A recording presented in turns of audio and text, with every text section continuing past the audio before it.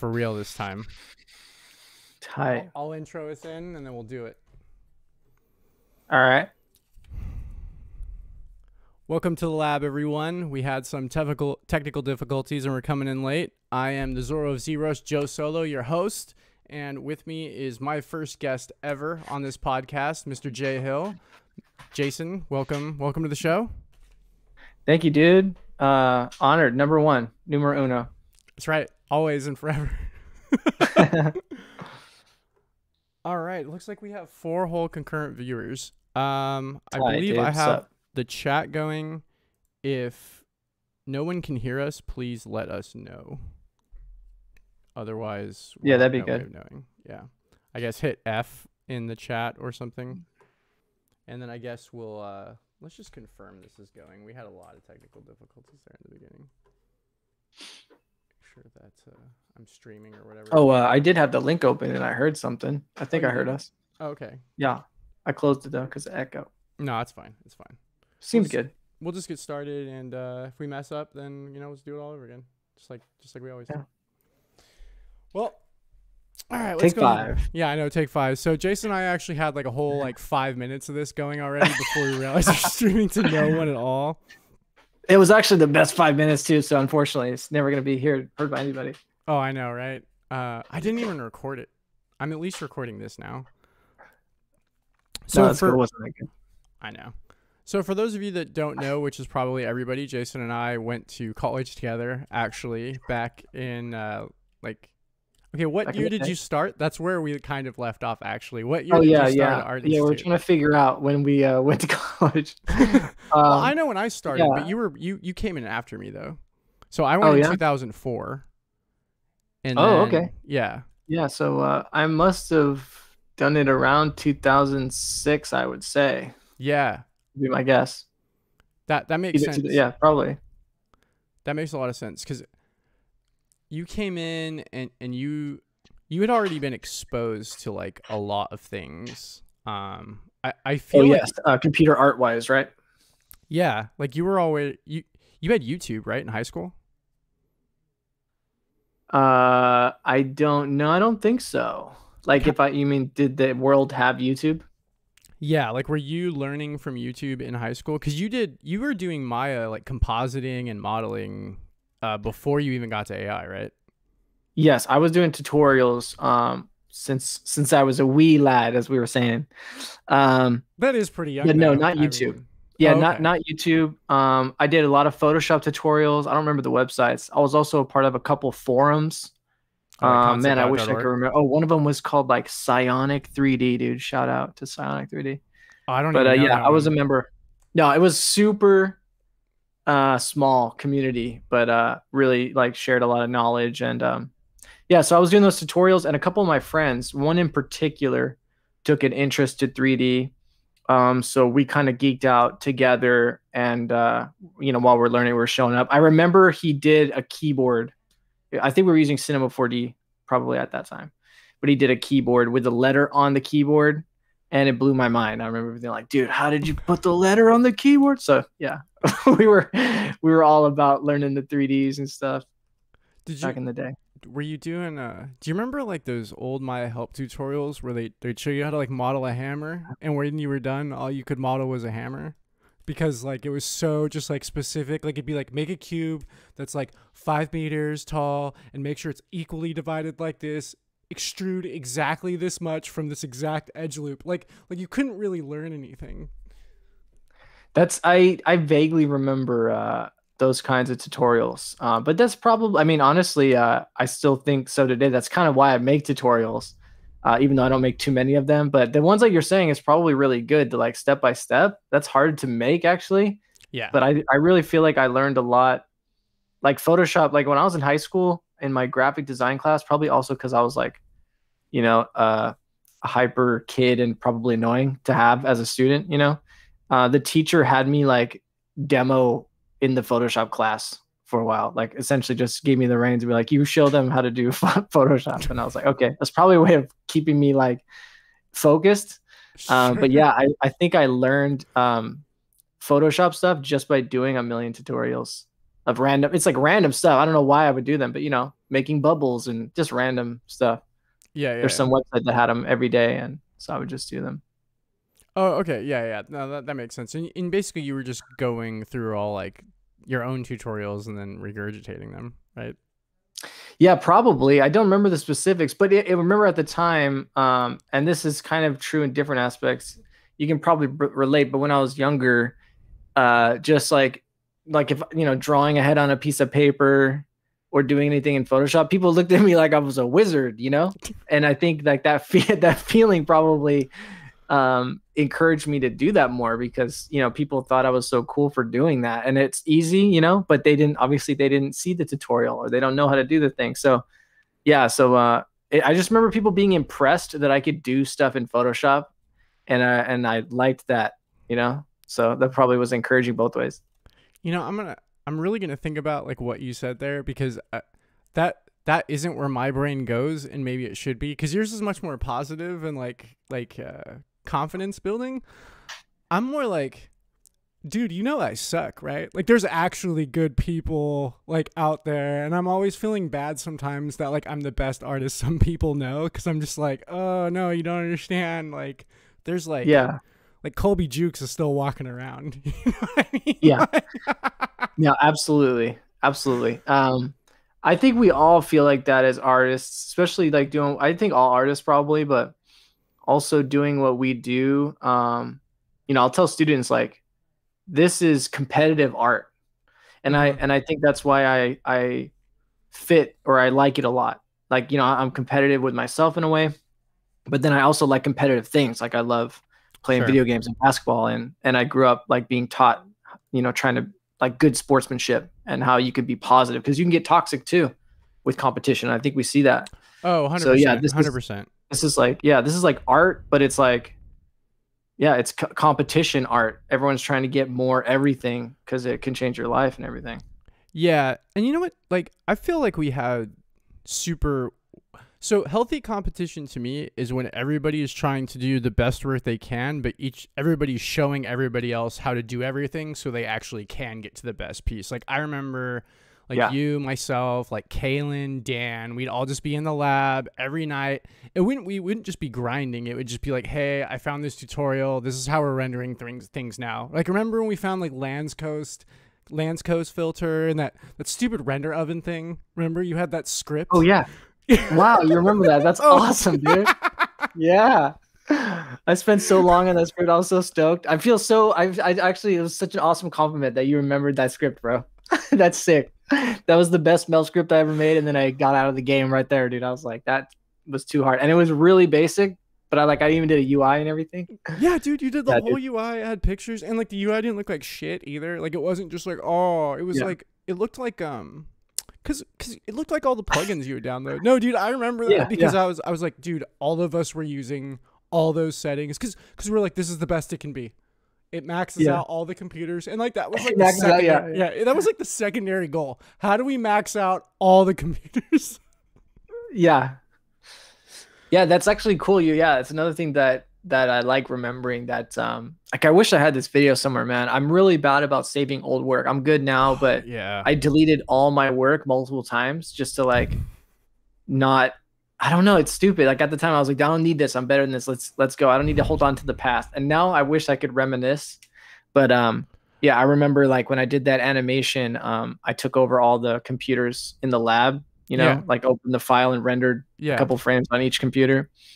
Yeah, those are good times though, dude. That that thing that you were talking about, that environment in the in the lab, that atmosphere, uh, I try to keep uh, alive in different ways. I still look back on that. I've talked to those guys too. It was a formative time of all of us, and I think it was it played a role in. Um, you know, have you ever thought about this? I've talked uh, with Dan and stuff about this, like Hundred percent. that this group of guys got jobs and we still have jobs. And if you just look at the placement rate of that school at all years it's bad. But for some reason this small group it worked out. And when i look back on it i don't i i really feel like and i don't think i was like arrogant. I think i was just naive and young or whatever. I never thought that you know it wasn't going to work out. Like we were just learning and doing and just keep going. And then uh, something will happen and it worked out. And I worked with Dan. You know, I worked with Dan for years. Like I got him a job, and I got a bounty for that. I left to another studio, and then he, he left to another studio. Then he went back and got me back, and he got a bounty for me at that same studio. So, so we both got a bounty for getting each other hired at the same studio. It's funny. Oh, dude, that's yeah, dude. dope. Um, Oh, I think about that. time. I think about that all the time, Jason. I can't like I think about that all the time, and and I think about the placement. I tell people all the time. I was like, it, and it wasn't even just us. Like like there's a level designer we know, Larry Charles, like Zach mm-hmm. Gonzalez. Like there was this whole sort of bubble of people. There was like these people who were like two years ahead of me, and then there was you who was like a year or two behind me, and there was like this bubble and all of us were just watching all the same stuff. We were all learning together. We were all sort of doing the same thing. But you know what though? We also sort of believed in learning everything too. Like everybody was like, you got to be a dope concept artist. You got to be a dope environment artist. Like you, you have to be able to model a character and a gun and design the character, and it all has to look good. And it better look like the skillful huntsman. Like if it doesn't look like it came from Art Yeah, Center, Skillful it- Huntsman, yeah. yeah. like there we had just like these rules and we were like none of us could really afford to do the art center thing or the hmm some of what the concept.org people were doing but we were like our own satellite version like we took all those methodologies and we just did it i mean like remember when aj couldn't paint like at all and then I and then remember that. oh He- dude he was I- kind of yeah, he was kind of popular when when I was aware of him. Like he kind of Okay. immediately became the like chief of that group. You know what I mean? Oh yeah, because he got good. Like he came in, he's like, I've never painted before, and then like he just didn't sleep, and then was dope at painting, and then like just ran past everyone. Kaylin was the same Yeah. way. Kaylin's like, I- I've never drawn before, and then Kaylin just kept drawing, and then like got dope. Um, see Yeah. what we need. What we need to do, Jason, is we need to get all those people on one stream. Yeah, dude. and we all need to talk. Yeah, that would Like, be fun. It's like a reunion, dude. Yeah, we'll just talk about old times. kind of kind of like a reunion but i think i think people need to understand like i don't know I, I think everybody has good stories about sort of what it takes and how like you know there's a lot of doing it by yourself but there's also not doing it by yourself like i can't imagine Mhm. us not having the experience we had together like Yeah. that, that's just crazy to me So here's here's another way to think about it. See what you think. Um, I, it's the only quandary I have when someone asks me, "Is going to school worth it?" And when you went to college, you know, was it good? Like, do you regret it or was it worth it? So the real question is, because I think that, um, like, not the teachers, you know, not the curriculum exactly, but specifically meeting like-minded people like a like the group that formed and then the energy in those labs the fact that we were all equal like an echo chamber of not great ideas the like like what you were saying is like because because students want to do this all the time too you know like if they want to learn how to do a character they're like i'm going to design this character i'm going to come up with the backstory it's going to be crazy and i'm like listen you got to know some fundamentals you know but the fact that we were all so ambitious and we had no idea but we all were hungry to learn all this stuff. We were just had all these interests. Like I remember just being into everything. Like I I don't I wasn't specifically I want to be a character artist. I just wanted to know how to do all this 3D stuff because it was it was dope, you know what I mean? So we didn't we just wanted to do everything. We wanted to learn everything. We thought everything was cool. And I think we were all supporting each other without realizing because we all felt that same way and and there was probably also something about picking out the people that you knew like you know there was something about like that that person like you like that attitude their positivity or whatever like i just in retrospect it seems like like larry charles and aj and Kalen. you know what i mean like Yeah, yeah yeah, it, yeah they were gonna make it you know what i mean it wasn't really a, a question so you wanted to be around those people and you wanted to talk to them and it felt like another person like another like hey you know you're like me hey let's talk about this so anyway so what do you think do you think that was worth $80000 Oh, uh, so for us, for us, it was a hundred percent. Um, and, and there's, I, I actually would say, for some of the teachers and stuff too. Like we had Charles Hugh, I had Sean Mhm. Dangarin. Um, I really what- like Alan Emmerich, by the way. Uh, Alan his- Emmerich, his, dude. His, he, his teachings on game design, I still think about today. they saved my life, dude. Like he's like a prophet. Like he said stuff, Yeah, and then a it's like come true. came true. Yeah. And I was like, Yeah. fuck. I, By the way, it took me years to, to be okay with that because I would look around. And I'm like, you know, I would look at the other devs because I thought they learned. Because when I was in school, I was like, whatever. And then I wasn't even trying that hard. I wish I kept all of his papers. You remember he said if you print out everything I made, you'd have a book. And I, at the time I was like, fuck books, you know? And then now I'm like, I wish I had everything he said. Damn. But uh yeah, I would look around, man, and and say, like, dude, guys, we're feature creeping, guys. Or like, hey, the game design document isn't done, or like, hey, how come we're not designing on paper? You know? And it Yeah. turns out the whole industry is bananas. And we're just making it up as we go along, dude. That's what tell-. I tell this to people all the times. I was like, so I was taught in school that if all you've got is a pile of twigs, you make a game out of that. And like this is how you go about it. And you better be able to describe that game in one sentence because if you can't describe it in one sentence, nobody's buying it. And Yeah. like the game had to be unique. You know, the first rule of game design is steal. That saved my life like so many times. Like there's and then there's just stuff about like known knowns and unknown knowns and like I don't know. I loved Alan, but I also thought he was kind of like crazy. And then I go, "Oh, you're not mm-hmm. crazy. You're like the only one who knew what they were doing." Shit. Yeah. Like, Yeah. Cause it really is, dude. It's bananas. And in our school, Dates kind of told us like they sort of preached it like everybody knows this already. Cause remember, like Chung Khan was from Blizzard. He was like the Blizzard cinematics dude. And then some other Blizzard teacher was there for a while. And all of them would just peddle like, you better be dope at everything. Right? Like there is no excuses. Like I know how to draw, I know how to paint, I know how to model, I made WoW, I'm awesome. Like we all design games. Like well what I tell people is we were encouraged to be devs. Like we weren't encouraged to just be like a Mm, cog in a yeah. machine. It's like no, you need to be a developer. Like you need to be able to make a game by yourself, even though that's not your job, because one day you may have to pick up the slack.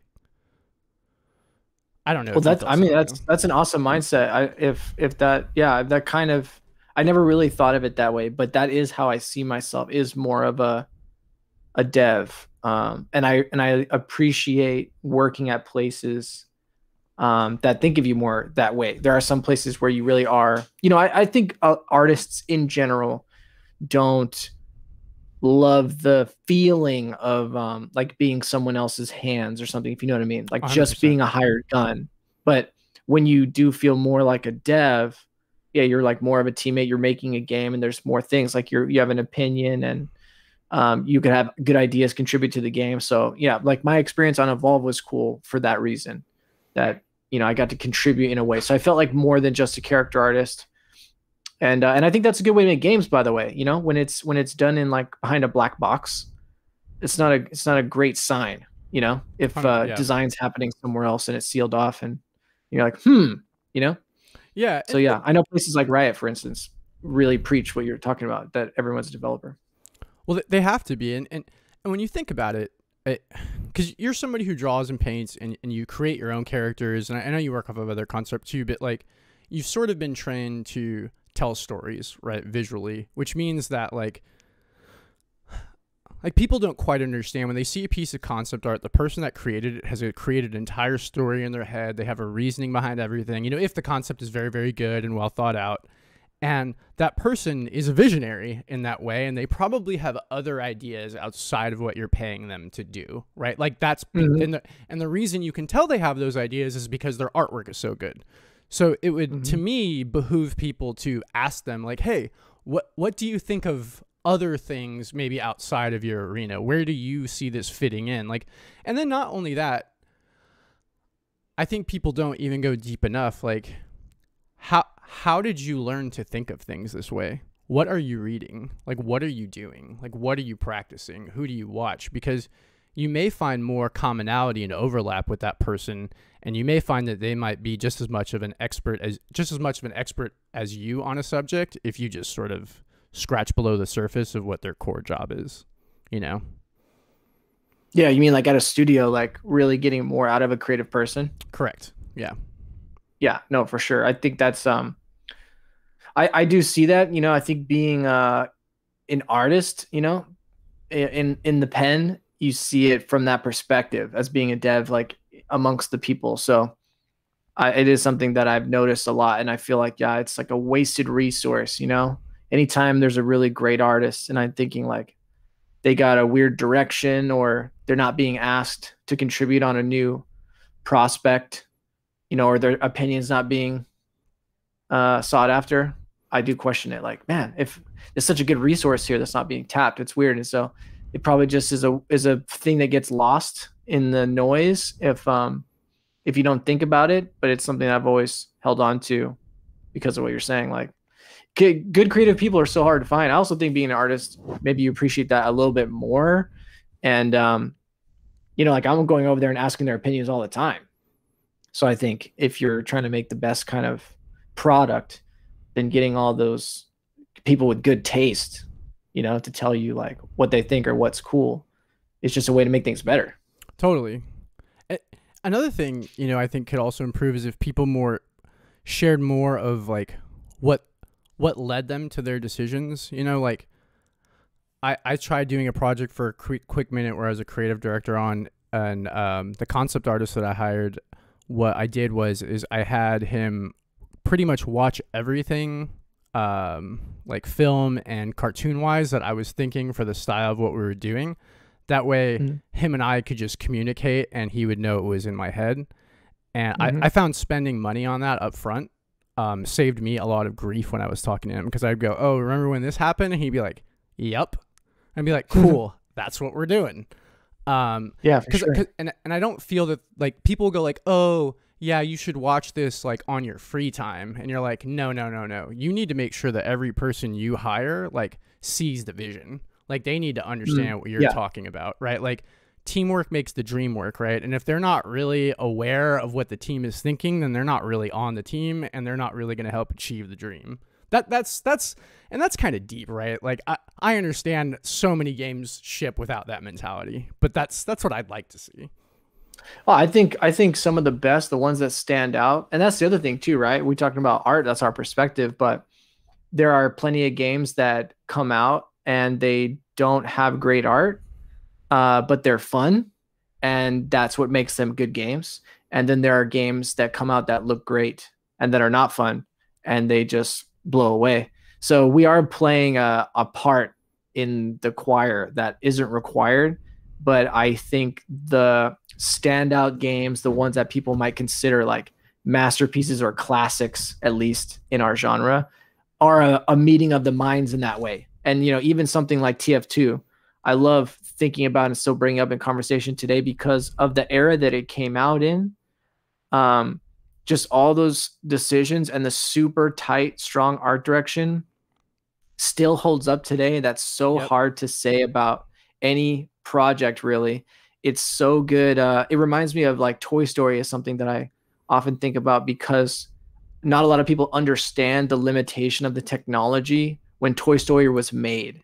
That like literally the only materials in 3D were Phong and Lambert. Right. So how do you make a how do you make a movie? You make it out of plastic toys because that's literally the only materials that you have. Yep. And uh and you know they're like sleeping under their desks. It takes forever to render but the but the story, you know, it's just perfect. Like doing um, a great piece of creative work within your limitations. And I think of that with TF2, even the way that they did the marketing with YouTube videos, dude. You know, I mean, it's so oh, good. No, um, dude, I used to yeah. crave those. Remember, and they wouldn't make yeah. enough of them because they, they, always did Valve it time. Take forever. Yeah, exactly. Yeah, yeah. Like, the game so, was out like for four years, and they'd be like, "Meet the meet the guy," and you're like, "Oh my god, there's a new one." I have a concept floating around that's still kind of decent that I did in college that of uh like I wanted to take the heavy and do a lumberjack version. And it's because mm-hmm. it was because their art style. I was like, dude, this is like timeless. Like I could do this high poly. My idea was like I was like I should do a really high res TF2 style mm-hmm. character, you mm-hmm. know, because because they're kind of floating that Leyendecker look, which I like too, but they're yeah. also somehow floating sort of this like was it uh, like Warner Brothers Acme look at the same time, and then there and then there's uh-huh. also this sort of Pixar mixed in, and it's just it's it's so tasty, right? Like you look at the concept art, and it's so good. All of it's good. The silhouettes are amazing, and then you you downloaded yeah. the models, right? Like even the topology on their low poly faces, I remember being dope. Like they just got everything they needed was just in there. Yeah. No, it is a masterpiece of uh of video games for sure. And and you know, like I don't think I think sometimes so I've I've noticed lately, like as I've gone on, like um you, are you're a lead now, right? I think I saw on your mm-hmm. somewhere. Yeah, you're a lead. Okay, so I, I was a lead for like a minute, and I I've noticed there's some like smaller technical skills that are starting to like disappear, like how people work with quads and like why quads are important and just like how far you can push quads or triangles like on their own. And like that's actually sort of an art form that now that I realize Yeah. and it's sort of starting to disappear. Uh, I don't know if you Absolutely. noticed the same. It, it will die. Yeah. Yeah. Yeah, it will die. Right now, we're in a kind of a. It's a it, for I think for me being a lead um, and an instructor occasionally, it's made that point of view easier because it was like an art and craftsmanship thing and very hard to communicate. Like I think experience, like making a mesh and seeing it deform, uh, you know, is really the best way. And there's some principles to live by, but I felt like getting into those conversations with people still students kind of overthink topology. They're like, what's the perfect topology? How does this look? Um, but now that we've gotten more and more polygons, it's less and less important to do more with each vert.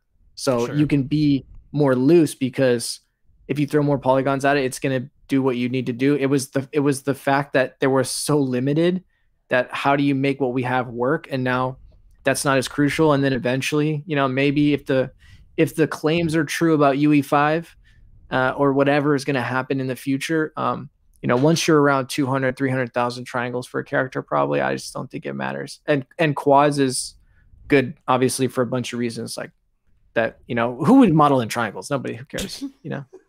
if you're modeling in triangles, you're doing it wrong, dude. I mean, I don't know. That's crazy. Yeah, yeah. No, for sure, for sure, dude. Um, dude. Oh, it's so good talking to you, Jason. It's been that is why I haven't had a long. topology conversation in a while. That's good, dude. Oh, I know. That's I'm- awesome. I'm a nerd, man. Like I'm a nerd about characters, and I really don't. Oh, I'm a nerd about, about all 3D art. Yeah, I know. This is good. We should just geek out on 3D shit. Exactly, man. Dude, so like, so like, like to bring it back a little bit. When did you realize that you were like gonna do art for a living, and then when did you realize you were gonna do, Mhm. I guess, like 3D art? Because because that is sort of a choice, really. That you know. Yeah. Yeah, that's cool, man. Um, so my dad, and it's funny, I just have a, a newborn now. We just have our first kid now. And so I'm always telling my wife, like, I'm gonna do the same thing probably. My dad uh bought me uh an Apple computer. I wish I could get the exact name of it. It was like this black and white Mac. It might have been an Apple II, I don't remember, but he got it for me when I was five years old. And uh, I think my mom thought that was a little bit weird at the time. Um, but I still remember it. And um, and yeah, there was like Kid Pix, which is like a little baby Photoshop. So, anyways, he set me up with this computer because he loved computers. So he's just a geek. He just loved. He's like a fanatic, you know. He, you know, he just liked them. Yeah, yeah. yeah. So he got me one, and uh, and I would just spend hours on it. I think it was like before iPads. That was the way that that that it could babysit me. You know, he gets on his computer, I get on my computer. Sure, sure. So I just grew up with it. And then my parents were pretty strict, like more strict than my peers. So like I couldn't leave the house and I'm an only child. And I couldn't have a TV in my room and I couldn't have uh, video game consoles, which my dad finds hilarious and ironic now because they didn't like video games. Dude, we grew up eerily So- similar, by the way. Like, are Oh, really? Oh, dude, all Cool. of these things. Yeah. Okay, keep going. Yeah. Yeah. So they kind of thought video games were evil or whatever. Um, but but my dad gave me a computer. You know, they didn't see the they didn't see the hole in their plan there. So I'm just so I'm like just trapped in my room all day uh, for like years of my life. But I could be on the computer. And then when the internet came out, they didn't get it. My parents are older. Um, so they got it. uh, Why would they get it if they didn't even use it? I don't know. But I got DSL. The modem was underneath my bed. I don't know why they're paying it and not, you know, they don't even know what they're doing, but they got it for me and they're not even on the internet for years. Yeah, I, I hooked them up later. Um, but they were getting those AOL discs in the mail and I'm over here just like on forums and looking at stuff, talking to other people. Totally. So, Yeah, anyways, living I a just whole love, life. I just, yeah, living, living a whole life. Yeah. The computer, I think that's why I have the relationship with computers I have now, honestly, because they represent so much. And now I think everyone gets that, you know? Yeah, yeah. yeah. before before social media and before the internet was so widespread and common you know like i think the cool kids probably weren't into the same stuff you know? Like a lot of my friends they'd have a family computer in the family Yeah. room and they would all take turns on it to write a report. But for me it it represented freedom and then the movie that changed my life that i always that i always say is is the lord of the rings. Um when i saw lord of the rings in general But then when I saw Golem, I just it blew my Oh, yeah. mind Yeah, yeah, yeah. and uh yeah and i just became obsessed with um with every learning i just want to learn everything about how that was done and then i learned that it was made with maya and you could like pirate it you know you could download it on limewire dude and i'm thinking to myself like you know this movie that changed my life you know imagine like you know it's like you could get something that made this magical thing and it's on my computer in my room and the only thing the, the only reason i can't make Gollum is because i don't know how correct. like I have the tool that they have in my room. So that like mind blowing thing, I think is what makes me so passionate. Um, is that you feel enabled? I think that's what computers do with people all over the world now. Is people feel enabled to do something, learn something, and um, you know affect their destiny in a way. And the tool is right there. We know it is that it's just it's a it's a yourself thing to you know figure it out and learn or whatever. So yeah, and then um, what was your next question? Oh, 3D. Yeah, 3D. Um, so I was uh, I took a lot of drafting classes in high school. No I don't know why. Dude, I Yeah. did too. I'm not even kidding. Like Oh, cool. architectural drafting, like like Yeah, isometric yeah. drawings. Dude, I know exactly. Yeah. CAD drawings. Holy crap, yeah. dude. I still use a, Yeah, a crazy. CAD pencil. Dude, that's weird. All right. Maybe oh that's yeah, why we like so, each yeah, other. I love. Uh, I I like those. Uh, I like those mechanical pencils, and you like shave it. Yeah, for sure. So yeah, so I took that. That was an elective. I think I just randomly lotteried into it, and um, so I, you know, I I've been drawing my whole life. Was it my your only drawing a- course? Because it was my only drawing course in high school. Was it your only Yeah. drawing choice? Is Yeah. that why you did it? I don't remember if I picked it or if I got it. Okay, gotcha. I don't gotcha. remember. Yeah. Um, there was an art class when I was a senior, but it was total garbage. Like it was just a bullshit Yeah. class. But CAD was legit. It was like hard. Um, but when you were done, I'm also not. I still am not very good at the at the perfection like that high level CAD drawing requires. But Yeah. it taught me more about that. Like it was a mix of art and technical skill and discipline. And I think that's what laid the groundwork for what we do now, which is all those things. Um, but also like, you know, there's no undo and you know, an eraser would fuck it up. Like just but doing the perfect drawing, you feel great. So I ended up taking three years of drafting. This guy, his name was uh, uh, Mr. Atsubo, and I still credit him. I tried to message him once on Facebook. It was one of those things where it was like years later, I was like, I should just tell this guy that he, he changed my life. But I was in his class, right? And um, you know, I was kind of a delinquent and kind of an asshole kid in in high school, not taking things seriously and fa- failing and stuff. But in the CAD classes, I was trying, and but I would like talk to people, you know, and so he would like discipline me, and um, he would kick me out. He kicked me out of his class for a while, and then one time, like he took me aside and he was like, "Listen, you know, if you want to go to college, you got to do the stuff. Like, you know, you're good at this. You could turn this into a career, whatever." And then in the next in in drafting three, like you know, you probably did the same thing. In drafting one, it's all it's all drawing. Then Mhm. they show you CAD the program, and you're like, "What?" You know, I didn't need to do all this drawing. Right. and then exactly. in the third one, in the third one, it was 3D modeling. And that's how I found out about 3D modeling. And one of the programs we used was called Rhino. And I remember learning that they did all the buildings in that um, Toby Maguire Spider-Man movie in Rhino. And I remember Dude, they thinking, did that that's Rhino? so cool. Oh shit. Yeah, I don't know Yeah. why. I don't know why they did the buildings in Rhino. Yeah, I don't know. But yeah, 'cause so Rhino um, yeah, yeah, Rhino sucks. No one uses it. No, but yeah, back then it was something. And then at home, I downloaded Cinema 4D. I thought that was the shit. oh dude, I, I've body used paint. a lot of programs. yeah, BodyPaint. BodyPaint was like th- that was the first time you could paint in 3D. Now, now a substance painter is the greatest thing ever. But yeah, BodyPaint was dope. I also used some things called Carrara 3D. My dad got me Poser. He thought Poser was cool. Yeah, poser, poser. Oh, cool. Yeah. dude. Oh my god, I'm having Carrara, flashbacks. that was so weird. Did you mess with Yeah. Milkshape? Like I had Milkshape. Like I had Half Life. Ooh, that sounds familiar. you know I don't think I did. You're though. like a little bit younger than me, so like there's some stuff where I'm like, yeah, that was after my time, and then I'm like, oh, I think this was a little bit before Jason's time. But but like Yeah. I I had stuff like I was using Kazaa to download stuff. Like I remember getting. Yep. Wanting to mod the Max Payne 2 engine because it was like the only thing that came with documentation. And then I found this So remember searching Kazaa for like random freeware, just like typing shit in and seeing if you just get anything back. So like I, I, just like, definitely downloaded a lot of stuff from those things. Yeah. yeah, exactly. so like I remember getting this random like environment modeling package and and I didn't understand what BSP was, so I was basically modeling in BSP. Like I just made these Yeah. like intricate rooms in like all BSP, thinking I was modeling, right?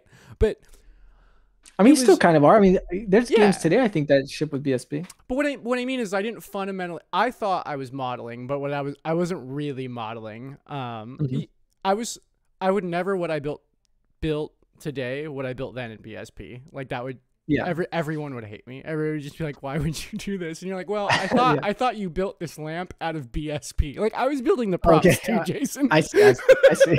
Uh-huh. so it's like, here's my room, and then here's my That'll BSP lamp, and then here's my Yeah. BSP chair. yeah. and There's a BSP character. right, exactly. is- Dude, it's so, it's so funny that this is hilarious to us, and there's people that don't know anything about what we're saying. Like, what? Is that funny? Oh my god, dude! Oh, Like there's that's the prettiest thing. there- well, so, so Uh, that actually brings me to something too. Is how Yeah. insane is it being like actually on the cutting edge of technology and going like, oh yeah, we just chewed through that. Like, because when you think about it, like Oh, yeah. Un- Unreal 2004 in college seemed like a lifetime, but it was a fucking year, and then it was done. It was like, oh, we're never using Yeah. that ever again. Oh man, people don't know this. I tell people, I, this is my old my old man hat. This is kind of what you're talking about, right? The, Yeah. the industry moves so fast that I get my old I get my old man hat and overalls on and talk to the young whippersnappers whenever I can. And um, like the fact that you can get uh UE right now, like I have UE on my computer. Why not? It's free and it's it's the it's like one of the leading real time engines, right? In school, it was ten thousand dollars I know. people don't people don't even people don't even think or res- or like really revere that like right when something becomes free they're like okay but dude i'm like you know i mean fortnite makes like what a billion dollars a month or something? And you can make that game if you know what you're doing. That's the same magical thing i was talking about before. That's what's so exciting about this kind of stuff is that we all have the same tool. We're all empowered in the same way. That's what's cool about the internet. This is like the golden age of all this stuff. So yeah the fact that like we have such good lighting now and you can do so many like polygons and and i'm really thankful in a way you know? Um like it was it was a grind and i wouldn't want to go back but i i feel lucky that it almost like coincided with my learning curve. I really feel Yeah, like that yeah. you know? Like like when they teach mathematics i hate mathematics but you know like the way they teach mathematics is like they kind of are giving you a history lesson. You don't really know that but they're just like they're like gating the knowledge for you. So Yeah, they're like showing you math from like a couple thousand years ago. And then in the next year they're like oh here's this thing the theorem that some guy made that made your whole last year worthless. And you're like why didn't you show me the easy way? But they're like building your knowledge base. That's what i think happened naturally in 3d is that we were limited and then it kept moving up the bar but it gave us enough time to to take those steps yeah. and appreciate where we're getting. Hundred know? percent. And and I, I identify exactly what you're talking about. And then and then we get sort of these gifts along the way where like ZBrush has only become like more artistic, right? Like like I just Yeah. I, like right before this, I I watched your Kobe Bryant thing. And, and I was just watching, going through that. I was like, dude, we could not have done this the way Jason is doing this even like five years ago. Like, a hundred percent. Because you were even using the, the dynamic brush, I think, for moving the clothes or yeah whatever. the clothes That, yep that new that folds out. brush. Like we didn't have that. You just had to model. Or I mean, there's Marvelous or whatever. But what are you gonna do? You're gonna stop, take it into Marvelous. Like I hate leaving ZBrush, dude. Like that's such a waste of time. ZBrush, I hate. yeah. Anytime I gotta leave ZBrush, I'm just like, oh, that's a broken pipeline. dude, I'm so stoked that they uh were updating Z Modeler, dude. I was just Yeah. living with it. Oh, Yeah, and I I, anytime Z Modeler gets a little bit better, I'm like, cool. Like it's this janky little modeler that I just like using because I don't want to leave. That's the only reason I use it. Like I'm just like, all right, cool. Another. I'm just faster with the pen anyway. Like why would I go back into GIMP Maya and just be like, oh well, I guess I'll just I'll pull this vert. I guess. Like I don't like Yeah. the way the move brush even moves vertices. Maya doesn't do it Mhm. that way. Like the way I identify no, space and depth. Just sculpting.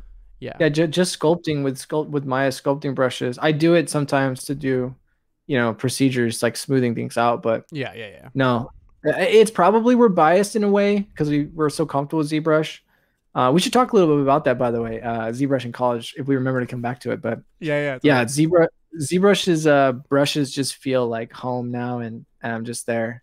I'll tell you the one update though that would rock the world, man. I don't know if they could do it. I don't think they. I don't think they can do it. I'll say that right now until maybe until GPUs are, are even more buff or something. Um, because I think it's related to their secret sauce because they've had this, they've had a lock on displaying the most polygons ever because of the trickery of what they're doing. Mm. But if Z if ZBrush in an update had real time lighting with shadows, it would it would change the world. wow, dude. I'm telling you. Wow, you you know, like you you've set the bar way higher than me. You know what I think would change the world? Being able to use ZBrush on two monitors. If I could use ZBrush on two fucking monitors and just dock all the shit to the side, I'd be so happy. Yeah. I'd just be like, oh my god. I, like, I mean, uh, you can hit tab, something, but no, I'm talking like Yeah. let's or even just two screens. Just like sometimes I'm just like, oh, this. Why am I still stuck to one monitor? Like, what are we doing? What year is this? Like, come on, ZBrush. Like, let's let's do this. Like two monitors, that that UI, I feel like mine is actually more achievable because I feel like that UI is set in stone now, dude. To, to rewrite the whole UI, that would be cool. They don't need to But that rewrite it. UI looks They like just need that to UI you looks like it did 12 years ago. Oh, dude, it has not changed. I know. It has not changed. And you know what though? Okay, so let me ask your opinion on this. So I actually don't think ZBrush is that complicated to use. Like the tagline for everybody is, Yes. "I know ZBrush. I know the interface is really stupid," and I'm like, not really. You don't even use ninety percent of it. Like, That's a hundred percent agree, dude. A hundred percent agree. Um, yeah, I think I might even do a, another video about this because people ask me for my UI, and I made an, a video back in the day, but I really feel like I should be able to make a short video about like how I use ZBrush because it's really not that much stuff. And I'll, I'll, so I mean, I think we're gonna agree here. Yeah. But I'll go even further. Like, so I don't think I don't. I'm not pissed at the UI. I think it's cool. I actually think the way you customize it is very good. Yeah, Um, totally. yeah, you know, like like the way that they let you customize it, the way that you set hotkeys, it's very good. And then I think like so so when I say it out loud, it sounds insane. All right. So like if I'm telling someone that's never used ZBrush, right? And I'm like, okay, do you wanna you wanna rotate? Just click on the background, dude. Boom. Okay. You wanna pan, hold, alt. Okay, boom, we're panning. Okay. Now it's about to get crazy. if you want to zoom, hold alt, click. Okay, now let go of alt and then move. Boom, right? It sounds weird, but the fact that everything is on one button makes it so once your muscle memory gets it, you're doing less actions. And that's why it feels more like tactile because you're doing less stuff. So it look the the UI is is a junk drawer. That's what that you know the reason why it looks like it's 15 years old is because it is, and they just added features in the drawers. So it seems like it seems like there's a lot of shit going on because there is, but it- like like you said, it's like going to a garage, dude, and you're only picking up the screwdriver. Don't get scared about all this other shit.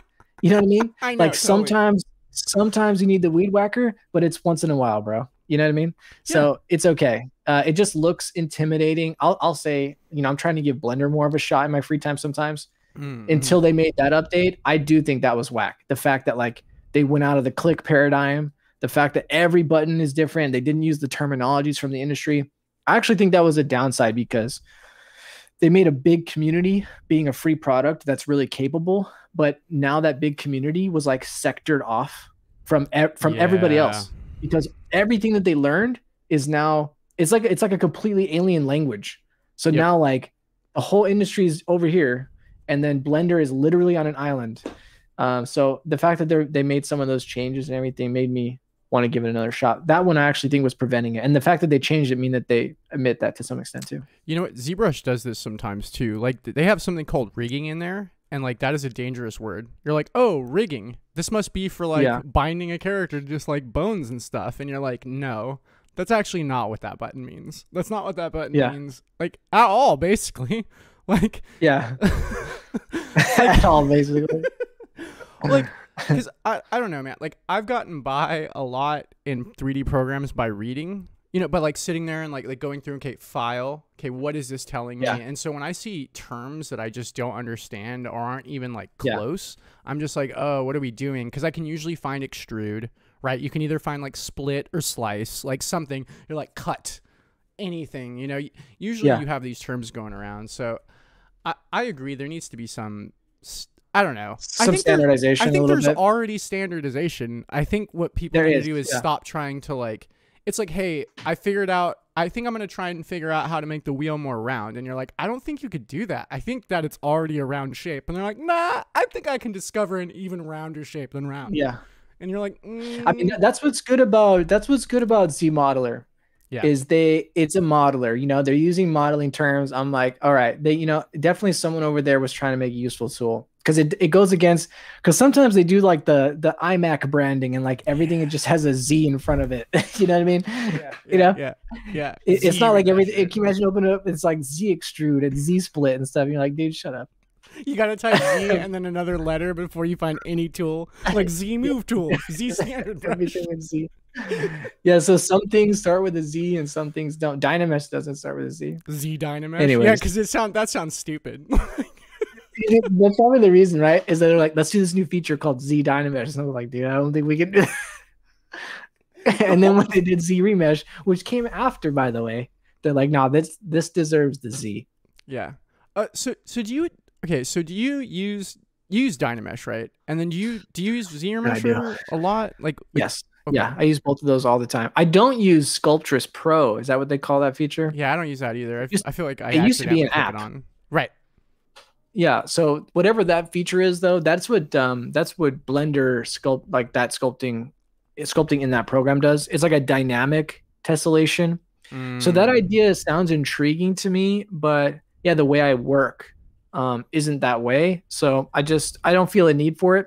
I also feel like a grandpa when it comes to the transpose line. Like I always use the transpose line. I don't use the So do gizmo I. except I- for like a couple. There's a couple reasons why I use the gizmo, but the, Yeah. the fact that it defaults to the gizmo pains me. Every time I open ZBrush, I change it.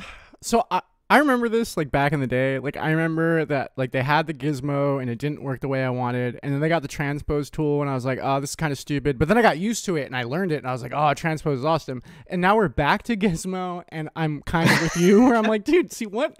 So now you've given me the gizmo I wanted originally, but now I'm not sure I want it anymore because you sort of did make it better. Like I, Yeah, I don't know. it's a, it's an artsy way to do it. uh, The the transpose line. Also, like when I bend, you know, like I I make it kind of like a bone. You know, it makes sense. Yeah. You, you know what though? Like, if ZBrush though really wants to like take on the industry, it, it needs to always know where zero zero zero is, like no matter what.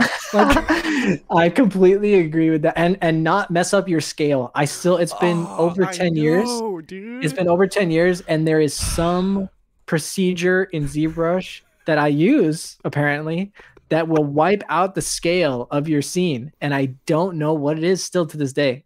So I tell people, like, I literally on big projects, I used to write down the numbers. You know, Don't- Yep. uh, people aren't gonna understand this, but ZBrush like. ZBrush has its own scale that is displaying And that it's not never one. changes. It's not one. Yeah, but It's like so, a stupid number. Import, it's a crazy. Well, well, well, ZBrush has its own thing, and what it does is it makes a bunch of junky numbers on the thing that you're making to like reverse to reverse engineer it. So once those numbers, it's like it's crazy numbers, like it's like eight decimal points, and there's some procedure that zeroes everything out. So visually, you don't see what it is, but then when you bring it in another program, it's like one millimeter tall, and you're like, "Oh no!" yeah, dude. So I have this yeah, other. I have this that's uh, that's crazy.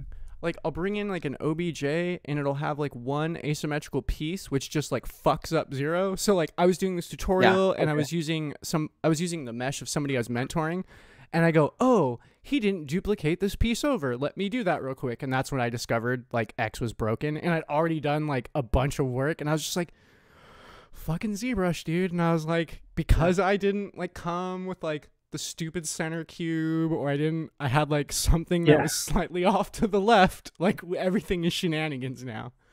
yeah, it uses the it used the bounding box, right?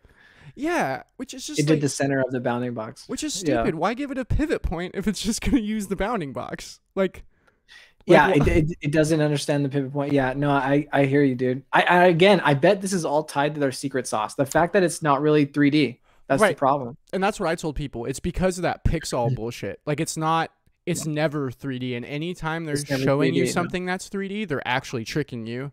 And I, I think they already had to rewrite the whole thing once to do the fold stuff because they're like, oh, it's faster. And you're like, I think that's a byproduct of the fact that to get dynamic drapery to work, you had to go back to some code and just like rewrite. And I don't. I That's don't a, that's a good theory. Yeah, because yeah, that has to be 3D.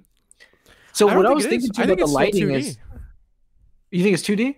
I th- I think so. I I think so I because mean, it's got to they're- sim it though. It's got to sim. It's got to have gravity. but it's it's not the it? I don't think so because they're still making you make your patterns with uh essentially the masking tool versus Mm-hmm. marvelous which is actually like making what like vertices and, and Yeah. uh, curves and and ZBrush is still not making curves which says to me that like can you not plot in three dimensions like can you not actually make I, I don't know I I think they're doing some John Carmack 2D wizardry to like just force it or maybe I- I think- I don't know You know what? I think I think it's drawing everything in 2D, but like in the cloth sim, because you can you can have like a plane and drop it on a ball, Right. and it'll sim.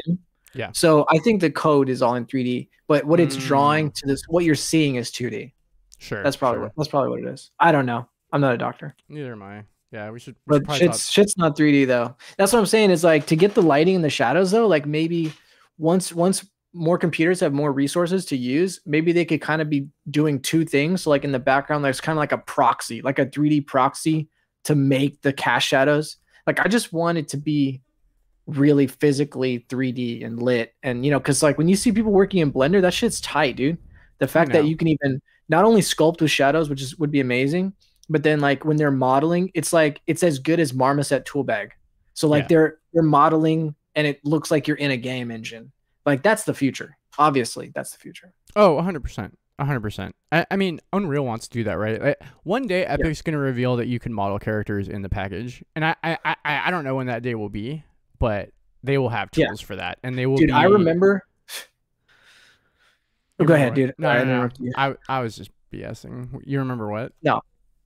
I was gonna say, like, I remember still. Um, I think Unreal had this video too, but CryEngine had this video that they put out at some big event. I remember I was at a studio in downtown LA, and I thought it was gonna be like earth shattering.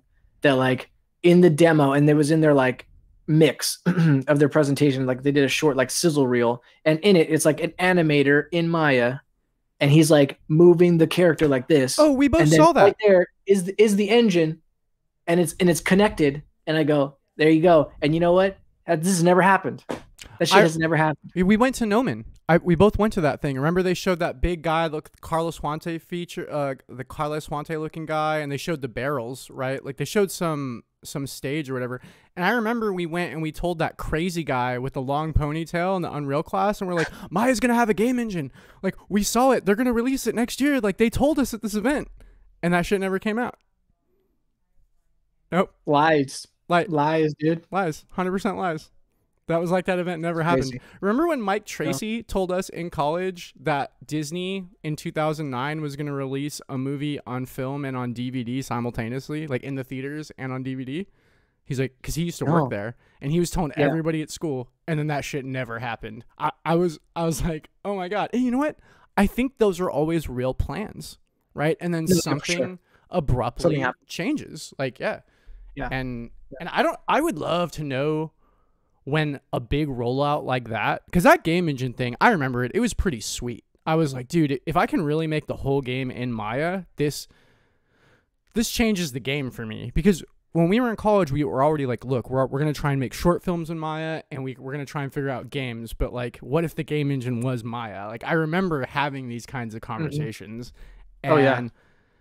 I, I don't know, man. I wonder why Autodesk backed off. I'm, you know, I bet you they couldn't keep up with the service requests, right? Because Maya's got too much shit in it. Like, well I, I i haven't used it myself but i know you know one of the big advantages of maya and why people use it widely in the industry is because um people have access to the back end and the front end whatever it's called i forget the name of the terminology but but you edit it you know so that's also why it's going to be ingrained for a long time so ilm has its own version Yep. you know weta has its own version and naughty dog has its own version. So they've Yep. developed it for so long. So when someone's modeling a character for a naughty dog game they're making the shaders in maya and they're looking at it. So they can model it they can see it. They, they'd use the hypergraph you know so it's like they're working in maya whereas you know my experience the engine is a separate software. And so you're like moving files and you're doing work in the engine. So far every place i've worked at is a different engine. Sometimes it's proprietary i mean the naughty dog one is proprietary but that's the difference between that uh, proprietary engines and an unreal engine is because when you use a proprietary engine which is essentially just something that's been modified internally Um, so there's no public facing thing at all. It's like a heavy mod, right, to make the kind of game that studio makes. Right. right. There's a lot of uh, there's a not lot of knowledge gaps because shit's not written down, and uh, and it doesn't have UI because it had no, you know, the, when the fact that Unreal is public, it it made the fact that it's a product now, right? It's like had forces to make sure it's usable and that there's documentation. And so that's that's the big advantage. It can get a lot of it can get really weird when you use proprietary stuff but i've always been jealous of the idea of like yeah seeing it like the, having the same renderer of your game in maya.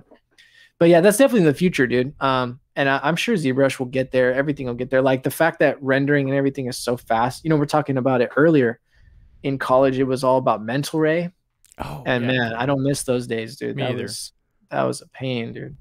There, there was something I was doing the other day, and the iteration between like Marmoset and Substance was like so fast for forgetting what I would have gotten in our, in our render baker in hours of rendering. I'm getting in moments, right? Of just like, oh, yeah. save texture, update, and I just go, dude.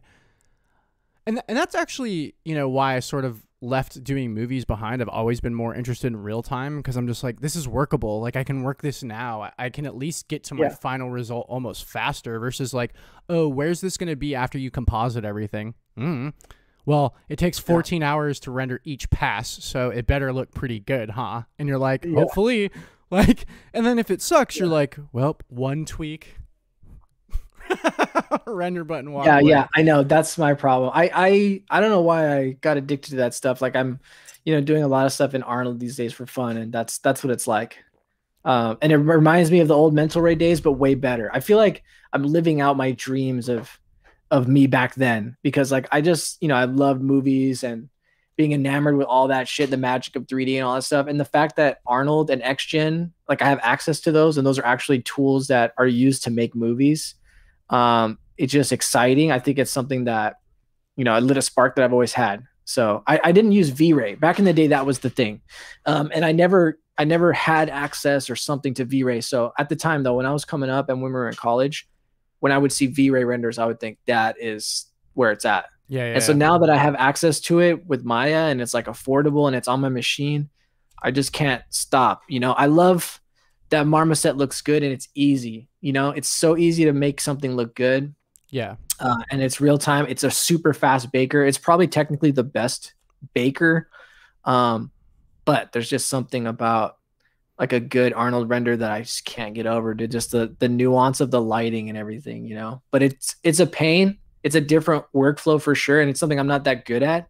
Like I follow um people that work in the industry doing look dev and stuff because there's an art to like picking the samples right and like doing a little window, you know, isolating passes so that, you know, because then you hit render. Right. Yeah, it it's hours. And yeah. you can't, like you said, that's that's my problem is like I want to see it. So like every night I'll do a render and then tweak, tweak, tweak. Every you know, it takes forever. It, it does. I I think it is fun, and I, I think it's a good skill to have. Like it's weird, man. I, I'm I'm getting older, but I still have like the dreams of like a young man, you know. And especially as the technology gets better, I feel like my dreams are closer to coming true because I go, dude, there's just stuff I wanted to do in college that I can maybe actually do now. Because not only yeah is Maya and ZBrush better, but the tech the other technology surrounding me is better. Like I'm shooting this right now, and this isn't even 4K, but on uh, a 4K capable uh, Canon EOS 90D that I can put Cine lenses on. I own a green screen. Like I could start filming and compositing legitimate stuff. You know, everybody has access to Premiere if they want to pay spend the monthly fee.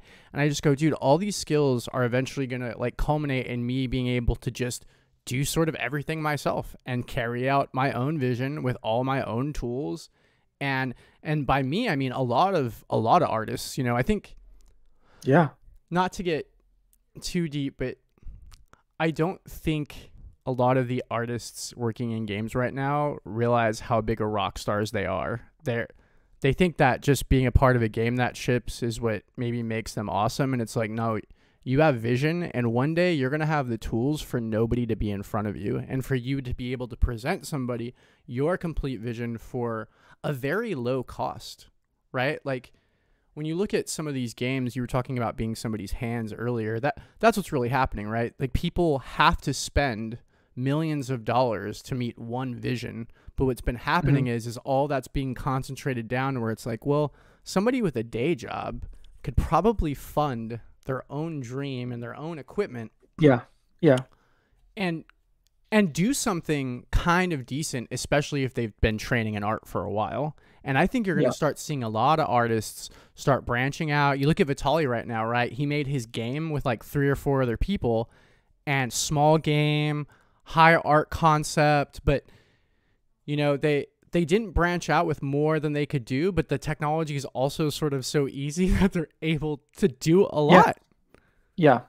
No, I 100% agree. Like we're more uh, I think you and I both are doing extracurricular things because it, it's exciting and and I feel the same way about just being having the same interest in like, you know, I got a, a digital camera when I was young, a computer when I was young, and I do feel like all this is kind of an extension of that and an appreciation for for how far things have come and that we can get our hands on things that we dreamed about that were out of our reach.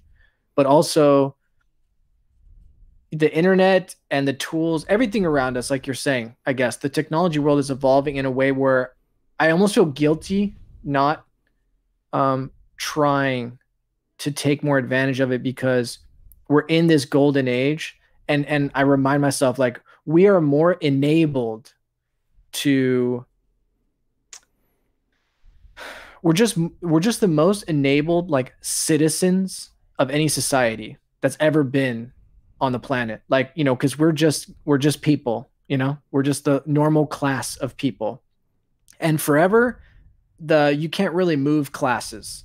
And you can't just start a business or or open a store or sell a thing or sell a trade or sell a skill you know that stuff's always been limited and very hard and we're in a world now where we are the most enabled. The resistance to do any of that stuff to learn new skills or uh, create a service or a product and you know create your own small micro business it's just never been like this before. And uh, and I, I feel guilty if i don't try to do something about it you know because also i guess being an artist um you don't get full fulfillment no matter how exciting or passionate you might be um, in a collaborative environment. I, I like the studio work because I like the collaboration. Um, when everything comes together, being a part of something that being a part of making something that's bigger than the sum of its parts, something that we couldn't make on our own, is exciting and the thing like the movies that inspired me the games that inspired me they're like that. And so that's one kind of fulfillment but the choices right? I didn't make those choices. I'm trying to do my best part. Uh, like i'm a, I'm a part of a team. Yeah. but i think being an artist and one that you know developed a skill over time artist is a very solitary um, practice. Mm-hmm. and and uh, it's really uh, you know mostly mental and it's something that you're developing for a long time. So it's like this path that you're on a solo journey in a way. And so you don't get the same thing when you're on a team even though that's great. So there are other ways now that are like outside of work. You can be doing things that feel more in line with yourself and are more back to that original thing. Because when we were interested when we were learning in school when we were making portfolios trying to get a job that whole time that whole time we were in the in the lab dude we were we were in the lab at night after class. Like we were excited when nobody was in the room. And then they, we were using their computers for free. And then we would use their projector and like you know and do demos. We were and so we were doing that for free. We were all poor you know? Dan was Yeah. not going home to his family and we were just there because we wanted to be and that's that's the uh, i think that's the same passion that i i'm i don't want to ever lose. I would be i would be terrified to lose that side of that I, I don't either, man. You know that that passion is honestly the only thing that's kept me going. Um, I've actually had kind of a rough go of it at times in the industry, but like, I, I've actually even almost given up once or twice. But like, this thing happens where I legitimately ask myself, like, what what else am I gonna do?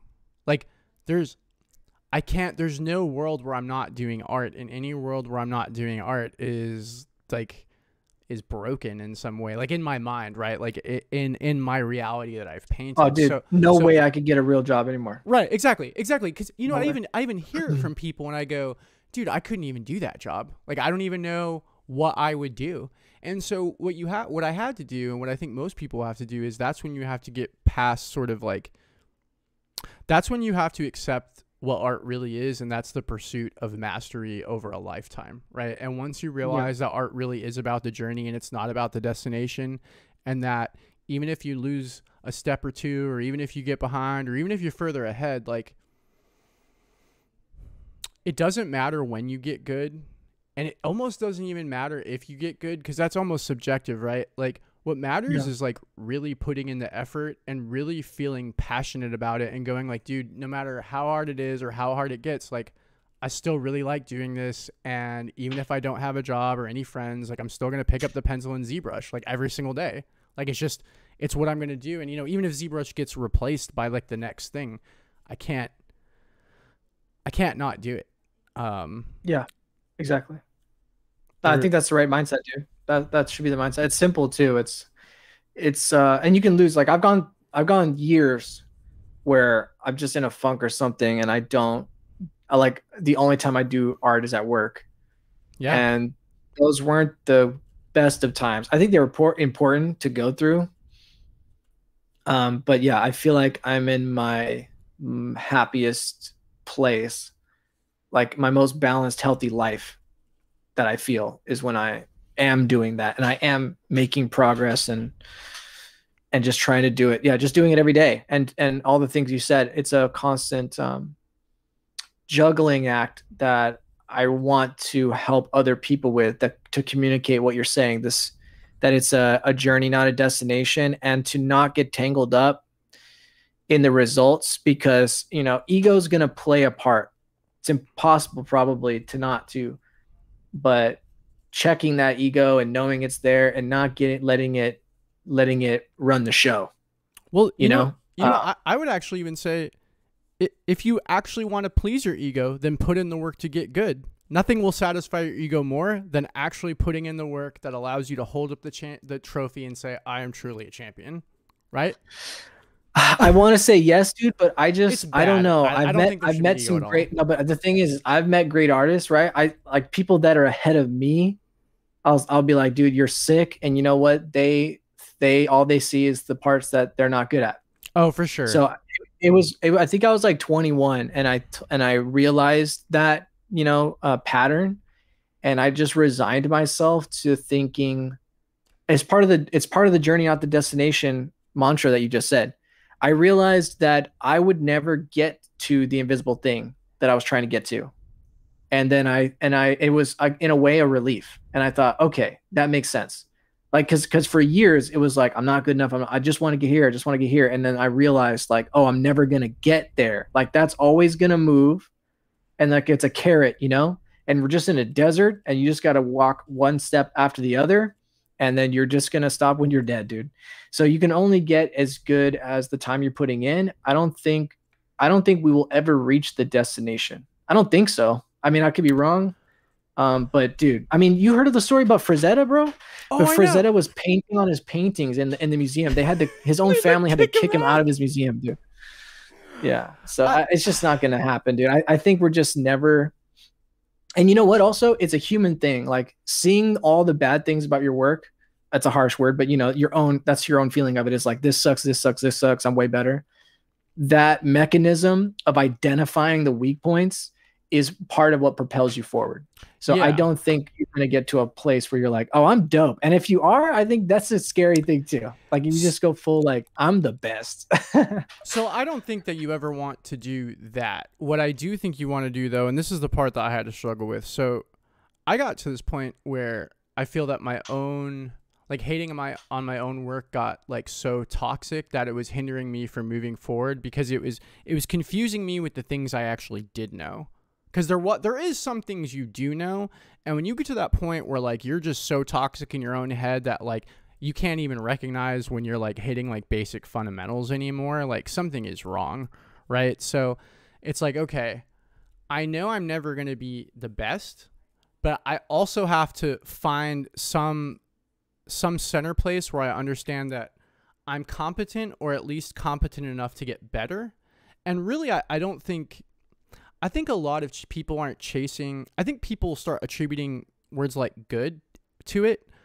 What I'm chasing is understanding, right? Like, I, I want to just understand more. Like, I feel like the more I understand about what I'm doing, the deeper I can dive into it. And then I want to learn even more about it, right? And that's, that's what really interests me and and what the the hang up I was getting is that I was allowing the the work not being that good to interfere with the fact that I am still practicing and I am still learning and I am still growing. So I think there has to be something where it's like, all right, if I put the hard work in, I know my work will get better, but you do have to recognize that you may not be ever be the very the very best in a humble way and like not beat yourself up about yeah. it right and understand that yeah. just because you might not be the best though is not an excuse not to work super hard that was the other thing right i'd go well if i'm not being going to be the best why am i even doing this and i go mm-hmm. and then you come back to it and it's like well because you love it and it's like well if you love it then just be in love with the process and then just do yeah. the process and then whatever comes from that like cool and and once I started doing that, and not only doing that, but bringing people like Tony Robbins and Les Brown and like more positive thinkers in my life, people who have systems for getting things done, not just beliefs, where it's like, yeah, like I draw, I get up and I draw every morning at 5 a.m. So I have measurable progress across sketchbooks, across years where I can chart. This is where I was at this week, exact week last year. This is where I'm at now. Ha- are the drawings better? Yes or no? And and that's that's metrics you can't have those kinds of metrics if you're not practicing every day, right? And you're not recognizing things. Um, yeah. And and I think people don't really understand that sometimes. Um, you know, and no, it's hard. No, it's hard to communicate. I don't either.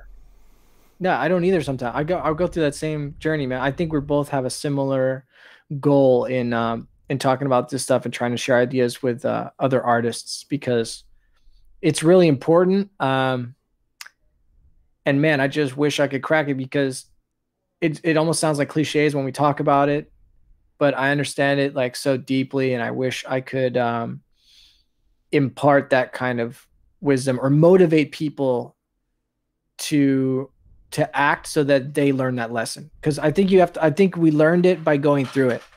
I mean, everything you said about being toxic and and uh, beating yourself up or feeling guilty um, you know all that stuff is there. And it's really the right attitude to just yeah have a system make stuff um try not to lose the joy in it. 100 uh, and then and then uh, like what you said is um there's some uh, other famous mantra about measuring stuff. Like you can't improve anything that you don't measure. Yeah yeah yeah. Like it's a business kind of proverb or something. But that's been key for me too. Um and man just like just making an everyday habit you know when people message me you know that's the biggest question right? Someone will say uh, how do i get good at zbrush or how do i learn how to make characters? You know and i'm like oh jeez. So i try to give them something and i tell them you know where to start or whatever and then i say just just uh, do it every day you know do it every day.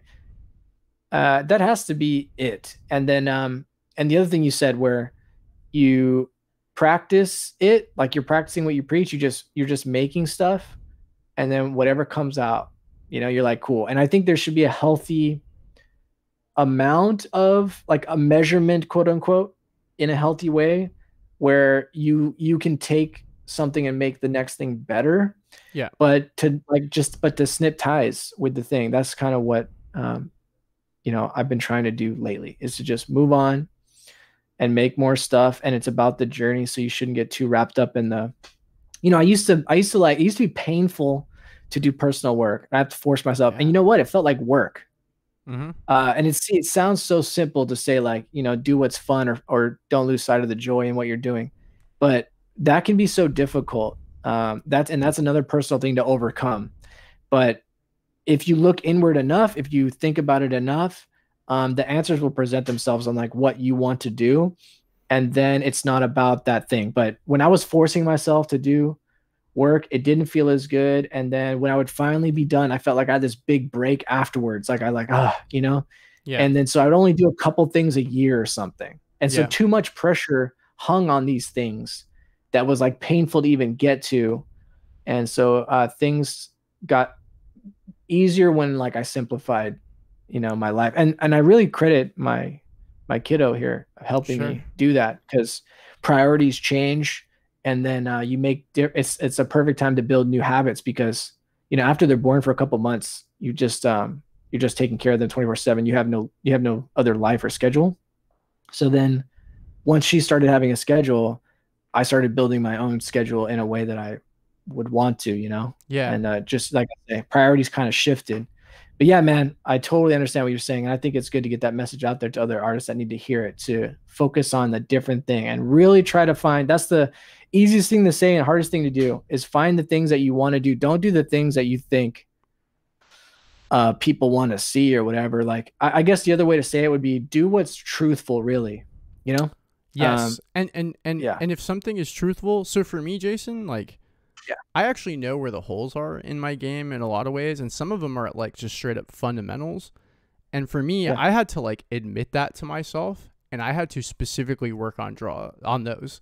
Like the things I work yeah. on in the morning, like specifically when I draw or other things, are the things that I actually are struggling, I, that are that are holding me back from the advanced things. And I go, mm-hmm. I have to be honest with myself and go, it's not about finishing a bunch of characters a year until you understand this fundamental, your characters are going to only be here. So why don't you just yeah. spend time over here, even if it takes three years?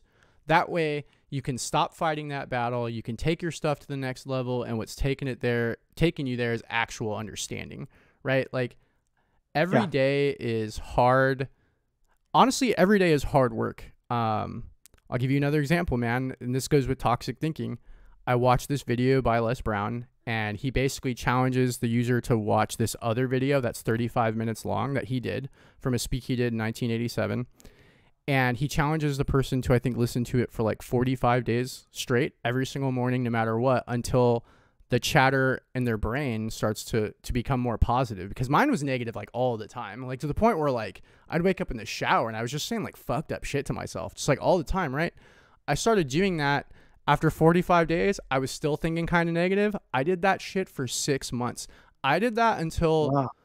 until my and it wasn't just him. I started putting in like other positive stuff, and then I then it kind of clicked over to my brain. I'm only gonna start feeding myself things that I wouldn't necessarily call them inspirational, but like point you to making positive decisions for yourself and for your life or just things that like inspired me from when I was a kid. Like I started listening to the Matrix soundtrack a lot, you know, and I started thinking about Neo and the hero's journey and I, I read Joseph Campbell's book. And you know, I just I started applying these things to my life every single day. And once I started changing the way my brain worked, I was able to really start working on my art and start seeing it for what it was and going, you know, it's not that I suck. It's that I don't understand these things. And maybe, just maybe, if I start understanding these things, I, I'll stop disliking my art so much. And not from like mm. the standpoint of thinking that I'm awesome, but recognizing like, okay, I drew this picture, the perspective is correct, right? Like, I drew this picture, the core shadow is in the right place, right? You know, just yeah. these basic things because I understand where the corners are. I understand where the vanishing points are. And to me, all of that thing those things relate back to ZBrush and to 3D modeling because it's about yeah. depth. It's about spatial awareness. And a lot of times when you see these artists moving really, really fast, they're like, oh, they're really good. And you're like, no, dude, they're, they're thinking in such minimal shapes and forms that they're giving this illusion. It's a, it's a magic trick. But all they've done is going, okay, front plane, side plane. Okay, this plane's here. Plane, plane, plane. Okay, the skull is like always like this. Like the muzzle is always like this. And all they've all, all they've done is flashcard themselves. And that's what you have to do. You have to flashcard yourself until your brain freaking memorizes it, right? Like if you mm-hmm. always find your anatomy is lacking, then you need to do more anatomy. And maybe Absolutely. you need to step it up. Like Yeah. Yeah, dude. Uh, I feel the same way. Um, so yeah, I guess to like to clarify the point about doing stuff every day and practicing, like mindful practice yeah, is the way to be productive. And the uh, the other way of thinking about it, at least the way I think about it, and I'm gonna get a little geeky about basketball here for a second. No, do it, do it, do it. The, the way I think about um, it, and I think we all have this, right? Is we want to make stuff like it's almost like we wanna we want to do something and we can't And so there's kind of two, I think of it as two different things. Uh, and you can see that in students and people that are excited where they're like, they, they use ZBrush for the first time, they'll sculpt a head and they'll say like, ah, this is, this is my head. Isn't this cool? And they're looking for some positive reinforcement. Um, but there is a benefit to learning how to look at things like in the cold light of day and realizing really what I want is to make like be very specific. Really what I want to have made is this. Right. And I haven't. And the way to get there is to practice those fundamentals and those things to enable myself to do the thing I wanted to do to begin with. Yep. So to relate it back to basketball, something I, I would think about is basketball players practice all the time and they practice playing the game, but then they practice drills. So they they break down the game into these small moments, like you know, catching a pass and going to the corner, shooting yep. free throws, uh, shooting off the dribble. You know, all all these different kind of things, depending on the type of player you are too. They'll focus on this thing, right? These people are at the top of their game, and they're practicing hours a day during the summer break. All of the best players practice over the summer, so when the season's off, and then someone like Steph Curry, who's an amazing skill player, like he's someone who, uh, you know, he's really famous, but uh, he's this guy who's my body type essentially. He's mm-hmm. a he's a few inches taller than me, but he's like one of the best basketball players of all time. So I only say that because, you know, LeBron is amazing and he's also an athlete.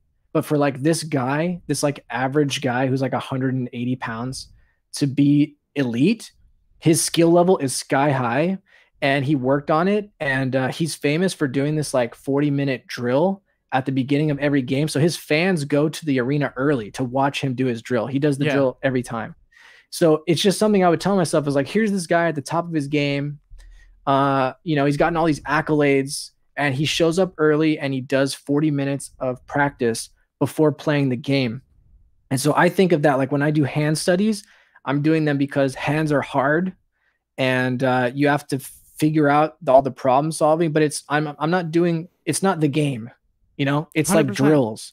Yeah. And so I'm doing this because I wanted to be able to just play. And that that's really the thing. When you see like when you see someone like Steph Curry play basketball, he's not thinking anymore. Right? That's and that's that's how good art is. Is and like like a good guitar player, their fingers are doing the thing. So you're working on your drills and so that you can play and that's really where art is it feels like work sometimes when you're doing drills and when you're practicing because you're like you know you're being mindful about what you're doing but i think what we all want to do is that play is that being like existing in the zone and what you want to happen is happening and it it takes practice to get there but that's where the magic is. I think that's where we all want to be all the time. 100% dude. Um i, I had a small moment like that. I, I feel like i get like i call them visions of the future and it's when you do something so awesome that you can't recreate. And you're just like, oh, where did that come from? And then you're just like, oh, and it's gone. like, so I, I was doing yeah. like these life drawing practices, and um, I didn't, I guess I didn't really look at it, but the model was actually half cut off. But I drew the whole thing. Like, I saw the whole pose. And I just filled it all in. And I was like, okay. that's weird. And it, it was a gesture thing. Like, it wasn't like, like it, but it was like, it was a 10 minute drawing. And I was like, like, when I was done and I really looked at the picture, I was like, oh, holy shit and I was like, holy crap, I, I actually memorized, like, something in me just did it by default, which is like mm-hmm. what I feel the practice is for. I was like, okay, this yeah. is going somewhere. Like, somewhere my motor skills just knew what to do. I was like, this is mm-hmm. what the training's for. Like, this is why this is why I do what I do and and I think for other people it's why they do what they do. It's it's why they do those exercises. Like I relate a lot of things to boxing. Like I think practicing straight lines, ellipses, and perspective, like, dude, you got to do your jabs. You just got to do your jab. Just do your jab, jab, jab, jab, jab, jump rope, jab, jump rope, jab some more. Um, just keep working on that jab, right? Just keep jump rope and just these basic yeah. things that you have to do over and over and over again. Uh, wax on, wax off. Uh, yeah. This is the secret to any anybody who's awesome. Yeah. Uh, you read David Goggins' book, you read Tony Robbins, Patrick Bet-David, any of these guys. They'll they'll just break down these drills that they do all the time and then people will continue to ask how are you so good and they're like i'm telling you i do this because the thing is the thing yeah. is usually so small that people don't pay attention to it they go how can that small thing by just doing a 100 jabs a day be the thing that makes you the greatest boxer of all time it doesn't make sense to them because they think the the fight in the ring, they think that's the part that that it all comes down to. Yeah. But like people are rewarded in public for the things they do in private, right? So Absolutely. like in private, they're practicing. They're not just awesome. Like Yeah. they're doing something. yeah, and the mileage is there, and also Miles. I think it's hard. I think it's naturally hard for the human brain to understand long stretches of time and things like compound interest and like exponential growth. It, Oh, it- it's unnatural in a way. So it takes a leap of faith. You know, you're hearing, you hear, hear all these inspirational people, um, and just believe them and do it because the moment to moment doesn't feel like that, and the No. day to day doesn't feel like that. But when you look back, you you prove it to yourself. So you really just that's why I think it's the simplest way to think is just live by, you know, some simple principles of like practicing every day. Um, you know, I heard, just heard something on a podcast recently, and they're talking about something else, but guy who's got really great work ethic said, uh, I just try to be one percent better at this point, and he's at like the top of his game. yeah. And he's like, I'm just I'm just trying to be one percent better every week because then at the end of the year, that's fifty percent better. Yeah. I was like, damn, that's Yep. pretty dope, actually. Like 50% better is noticeable, dude. In two years, that's 2x. Yeah. Dude, 100%. So, Phil Jackson didn't didn't he give that speech to the Bulls? I think that was in that that uh, basketball movie where he was like he just asked them if they could all just get better by one percent because like there's X amount of team members, so like that's X amount of percent. Like it all compounds together. It's not.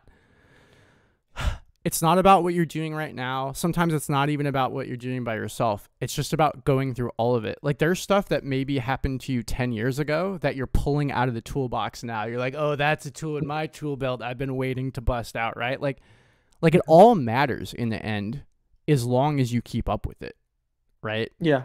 um like because because i don't know man it, it's interesting. So I, personally not to I, i've always like looked up to you in a way. I, I thought like you came in I, ai like like super super hot and super doing all this cool stuff. And like you're like yeah i know my i was using maya in high school. And i was like well like some of us didn't have maya in high school. Like some of us had to learn it here. Um some of us didn't model our own head from the Joseph Osepa book or whatever. Like some of us just didn't do that, Jason. Um, no, but like, it's it's. This is why I wanted to talk to you, and, it, and it's great. Like you're being open about it. Like it's.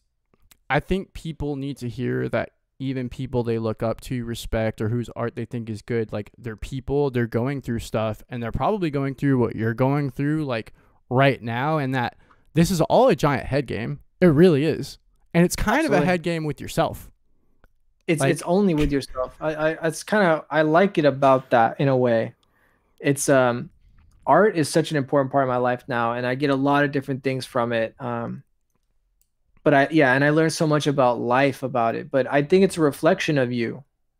Uh I mean, art's very personal. Yeah. Um and another way of of kind of contextualizing what we're talking about is if you practice and you follow your interest and you try to get better, you will become a better version of you as an artist. And that's what's cool about it in a way. Yep. Because everyone will just be on their own path. You know, you're not going to get if someone's exactly like someone else, then there's there's something wrong going on. There's someone there's someone faking it. That like the truth is it's a reflection. That's what's cool about art is when you make something, it's a reflection of where you're at right now. Yeah, it's a visual measurement that you shouldn't deny. You should be like, oh, uh, all these holes in my game. You show someone whatever they say, that's the truth. You know, Sure, you show sure. someone their first reaction, that is that is uh, really where you are. That's what you made.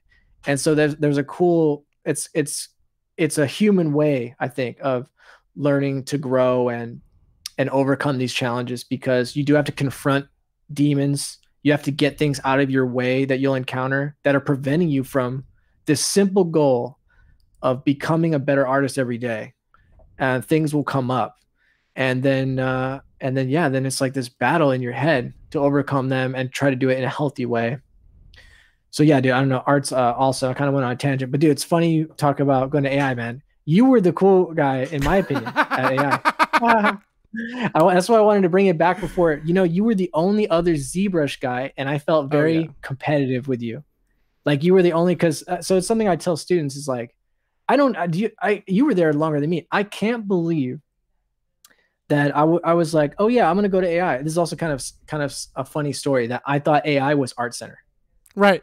I think we all kind of. I accidentally went. I like accidentally went to AI because I was like, Art, Art Center. I heard that's good because like my my drafting teacher told me about Art Center, and then AI sended, which was spam in retrospect. Oh wait, so you acci- sent, you actually accidentally went to AI? Yep, yep. They did a they did a scholarship competition, and I did it to get a scholarship to what I thought was Art Center, and I went there, and I realized it wasn't, and I got a three hundred dollar scholarship, and that was enough for me to be like, yeah, I'll go here. And then, and I can't I can't believe I went there where dude normal maps weren't out. ZBrush wasn't a thing. And I really can't remember why i mean i i guess it was just i like 3d modeling i'm interested in 3d modeling this seems fun let's do it so it, you know when you're younger you make more big decisions on whims like that and i'm glad that i did because i feel rich now and around me like ZBrush came out and it became my favorite program. Things like Substance Painter now are amazing. Uh, you know, the renders we have, the computers we have, everything got better all by happenstance. I, I'm lucky about it. But yeah, anyway, so ZBrush came out and it was amazing and a game changer. I remember going classroom to classroom and just like poking my head and probably being an asshole. And I was like, anybody here know ZBrush? You know, just interrupting. And uh, everyone looked at me like, what? And uh, I was just looking for other people that that knew what ZBrush was so that we could, you know, put our heads together and figure this thing out. And yeah, you were like the other ZBrush guy. So that's that's how I always felt like, you know, Joe was the other ZBrush guy. And an update came out one time and I stayed up 24 7 I got the update and I started, you know, using the new features and trying to learn it. And I made a thing and I went into school the next day without sleeping. I only did that a, a few times, but I remember one of those days was a ZBrush update just so I could get a leg up, just so I would be the best at this new thing. so, anyways, that's funny. And yeah, Danny McGowan like loved you, dude, because you had great drawings. You know, you were a, a strong 2D guy back then too. Oh, thanks. So you had a sketchbook. Yeah, yeah, dude, all the time. That was dude that's what i was told you had to do. Like like, like I, I was told that that's what you had to be to be a character artist. Like you you needed to be able to have these skills. And at least I, I i feel i was told them. I feel that they were insinuated. They were like oh well you, you need to be able to like competently comp- concept something. And i understand what that means now is you need to be able to competently design something which is not the same as a good drawing. Like like a design can be a design if it's loose, right, and come out good in the end. But I, I associated that with like, no, I did drafting. Drawing should be yeah. good from a technical standpoint. Like I was trained mm-hmm. to do good drawings, and so like I,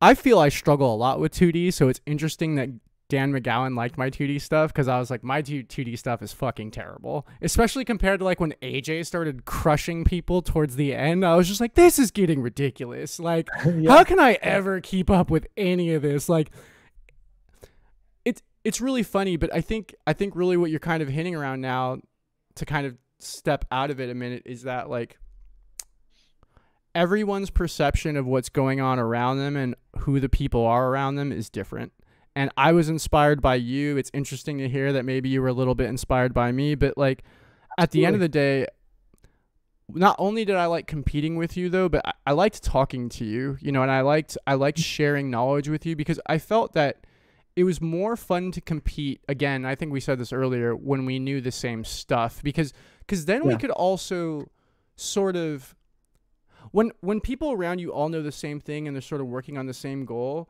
you almost can see the holes in your game by seeing the holes in everybody else's or the problems they're solving. They're like, oh, blah, blah, blah solved this. Now I can mm-hmm. solve it. Or blah, blah, blah did this thing. I learned from it and vice versa. You know, I can't imagine, man, I don't know, like being on an island now. And in fact, dude, it's. Yeah. It's part of the reason I reached out to you the other night. You know, Jason, I, I reached out to Jason the other night because, you know, I've been doing this sculpting and ZBrush thing and I don't know. I always felt Jason, you were you were just part of that art journey. I remember us vibing, and I was like, dude, we just had like a good effing time. And mm-hmm. I, I'm five years away from 40, and I've just been thinking a lot about like concept.org and like CG Hub mm. and like Massive Black and like like the, all the old meetups and Dominance War, dude. And I just Yeah. go and and what I remember was is there used to be this community that was very large that all helped each other for free. And then Yeah. BS and greed got involved at some point and it fractured everybody so so much that like I mean, I made my own choices, but like I, I don't know I feel like something got broken up there and it kind of messed with everybody for a few years. It fractured the community in a way that it's never pieced itself quite to, back together again. And one thing that everybody did was instead of teaching for free, I'm going to paywall everything behind $5. And I just go, mm-hmm. I don't think that's in the spirit of why we got into this. Like, I don't want to see bad portfolios. I don't want to see people who don't like themselves because they can't get good at art and like I can help them and I was helped for free. I feel I was helped for free. I feel a lot of the Yeah. skills I have I got for free. And we're talking about paying for school. School didn't teach Jason and I anything really. Um Jason and I watched Gnomon DVDs and competed with the other students, and we had some teachers who pointed the way, but they did not show us how to do the super hard work. Um, not themselves. not no. themselves, no. They but they opened the door. They were like, "Hey, like this is the door. Do you want to go through?" But Yeah. when when you look at the education we paid for, it was sort of like the education we gave ourselves in that lab till they shut till they kicked us out every night, and it Yeah. was going like you may have been doing ZBrush updates. I was trying to hit whatever Gnomon DVDs on fundamentals to stay ahead of all you guys because I was just like, dude, how do they know all this stuff? Like, how do they just keep knowing all this stuff? Like, this isn't even fair. Like, but it but it was great and and I miss the sharing like that and I want to Yeah. do more podcasts and hang out and teaching tools and and not this whole the other thing people are doing is they're doing this whole let's overflood people with information and content but we'll give them no wisdom or guidance. Like i don't want to give people content right? I want to give them wisdom. I, I want them to know like i saw this thing the other day and i'm not i'm not tearing it down. It's just it was like breaking down anime and i go do we need a breaking down anime thing or, or do we need a how to just break down styles in general like because because really if you to be able to break down a style you probably need to be good at fundamentals are we going to talk about fundamentals in this video or are we going to talk about something that like nobody understands and are we going to not point them to anything that is going to give them context Mhm. for what you're talking about Mhm. and that kind of stuff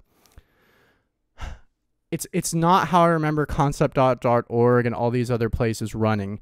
Everybody always said the same thing. But people would post a 3D model with bad anatomy on a character and they would say you need to go to life drawing class and draw. Like that was the answer to their 3D model was you need to go and draw.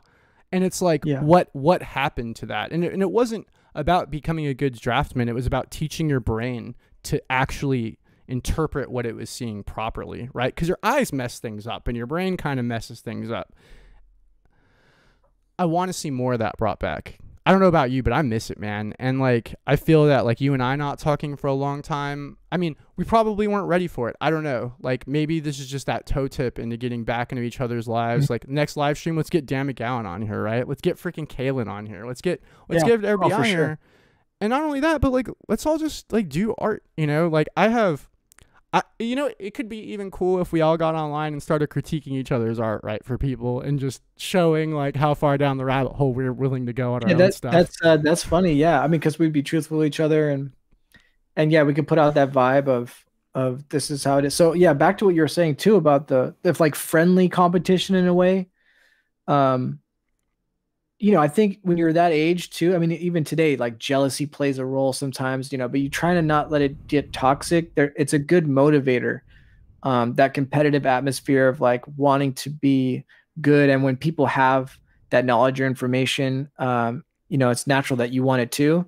But the fact that we were sharing stuff, um, I really think it was that. I mean, also maybe, maybe something before I went to college too. I don't know, but I really credit that time of instilling um, that mindset. That um, like I always have felt that way now. Like I don't, I don't ever plan to keep um, knowledge locked up. Like I'm not someone who thinks that uh, you know my what I have achieved so far is because I have some secret thing and I don't want to give it up. Like I, I want to share everything because I think the difficult part is the stuff we were talking about earlier. Just I no matter how good of a speech or a video I could come up with, I can't do anything that would equal, you know, a couple thousand hours of practicing it. And so I really 100%. just I just want to get people to do that in a healthy way and not be a dick and say just practice more or you know i don't know just you know what i mean like there there's a way to do it where you're it doesn't feel like work. That's the that's the trick is um if you are following your interest you know i think you have some of the we, we both have similar qualities in that self-improvement is a theme. Um like just uh, you know an urge to always you know the fact that you're reading goggins and you know i do that stuff too. And also like um feeding your interest which is also something i think a lot of people don't do like if you're interested in a topic no matter how niche or whatever or tangential you are feeding that.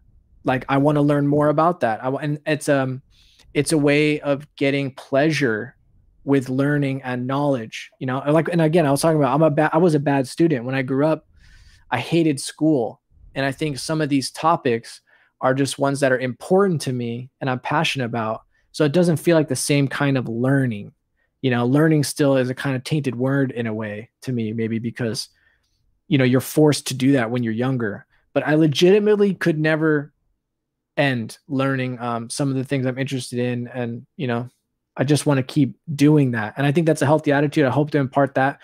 And when it comes to, um, like the content yeah dude i think we should all be doing more content like that i don't think we're ever going to get back to what you were talking about before i think the reality of the times today is that everything is fractured. And so really what it is is it's more niches you know instead oh, of yeah. like polycount was the place for 3d modeling conceptart.org was the place for 2d deviantart was for everything deviant and crazy. Um, and now you have these micro communities and i think it's it's people like us like-minded people that want to give back because of the stuff we got and how we got here through other people and then now we can pass it on and i also think doing both like just like the gnomon dvds you know i feel like there's some ways i can contribute in ways that like take a lot more effort a lot more serious and a lot more premium yeah. and so those i think are for a different audience than like i want to keep making tutorials and videos that are accessible to people. And then the people that are really serious, like I did this too. Like I took, you know, I've taken a $500 oil painting class. Sure. You know, sure. I've taken, when we went to AI, dude, those classes were $1,200. Oh, piece. dude, I went to AI and Gnomon at the same time for a minute because they wouldn't give me enough life drawing. It was the only way to take Charles, and it's just like, all right, like here's another thousand bucks on top of the twenty five hundred dollars that we're already paying here. Yeah. yeah. yeah and I, that stuff I'm happy to do, especially when it's artist to artist. That was a great experience when I when I took an oil painting class from Sean Cheetham, who's a, an accomplished oil painter, uh, a portrait painter. And so that money, I knew that money was going to him, and that's a very old school way, right? Of like, here's this master, and then you're going to be the mentee. Yeah, it's the Atelier, he, Atelier method. Yeah, yeah, yeah it, it's it's very great, very pure. You know, you're also supporting this artist rather than it going to this you know publicly traded corporation that later gets bankrupt and so it's a way to uh it's a way to to also get more serious you know i mean this is just a, a side product. Obviously it's not the main reason to do it but when i have offered premium like learning experiences i know that the same thing happened to me is once you put money on the line like things get serious. Oh. And also you you have a now you have a relationship too where i can say something and if you don't want to listen or if you don't want to show up that's you just you know that's your mistake you know? And it, and it really like it, it's a it's a gate for people to really be serious and then once they cross and they like their money's on the line they're like okay like i don't want to waste this money. And now now it's a different environment. So i think there's ways to to help or educate in both those environments that that are suited better for that you know? You know you you just planted sort of man you just you just messed with some of my logic right now in, in the best way. Like i'm, I'm gonna have to like think about this.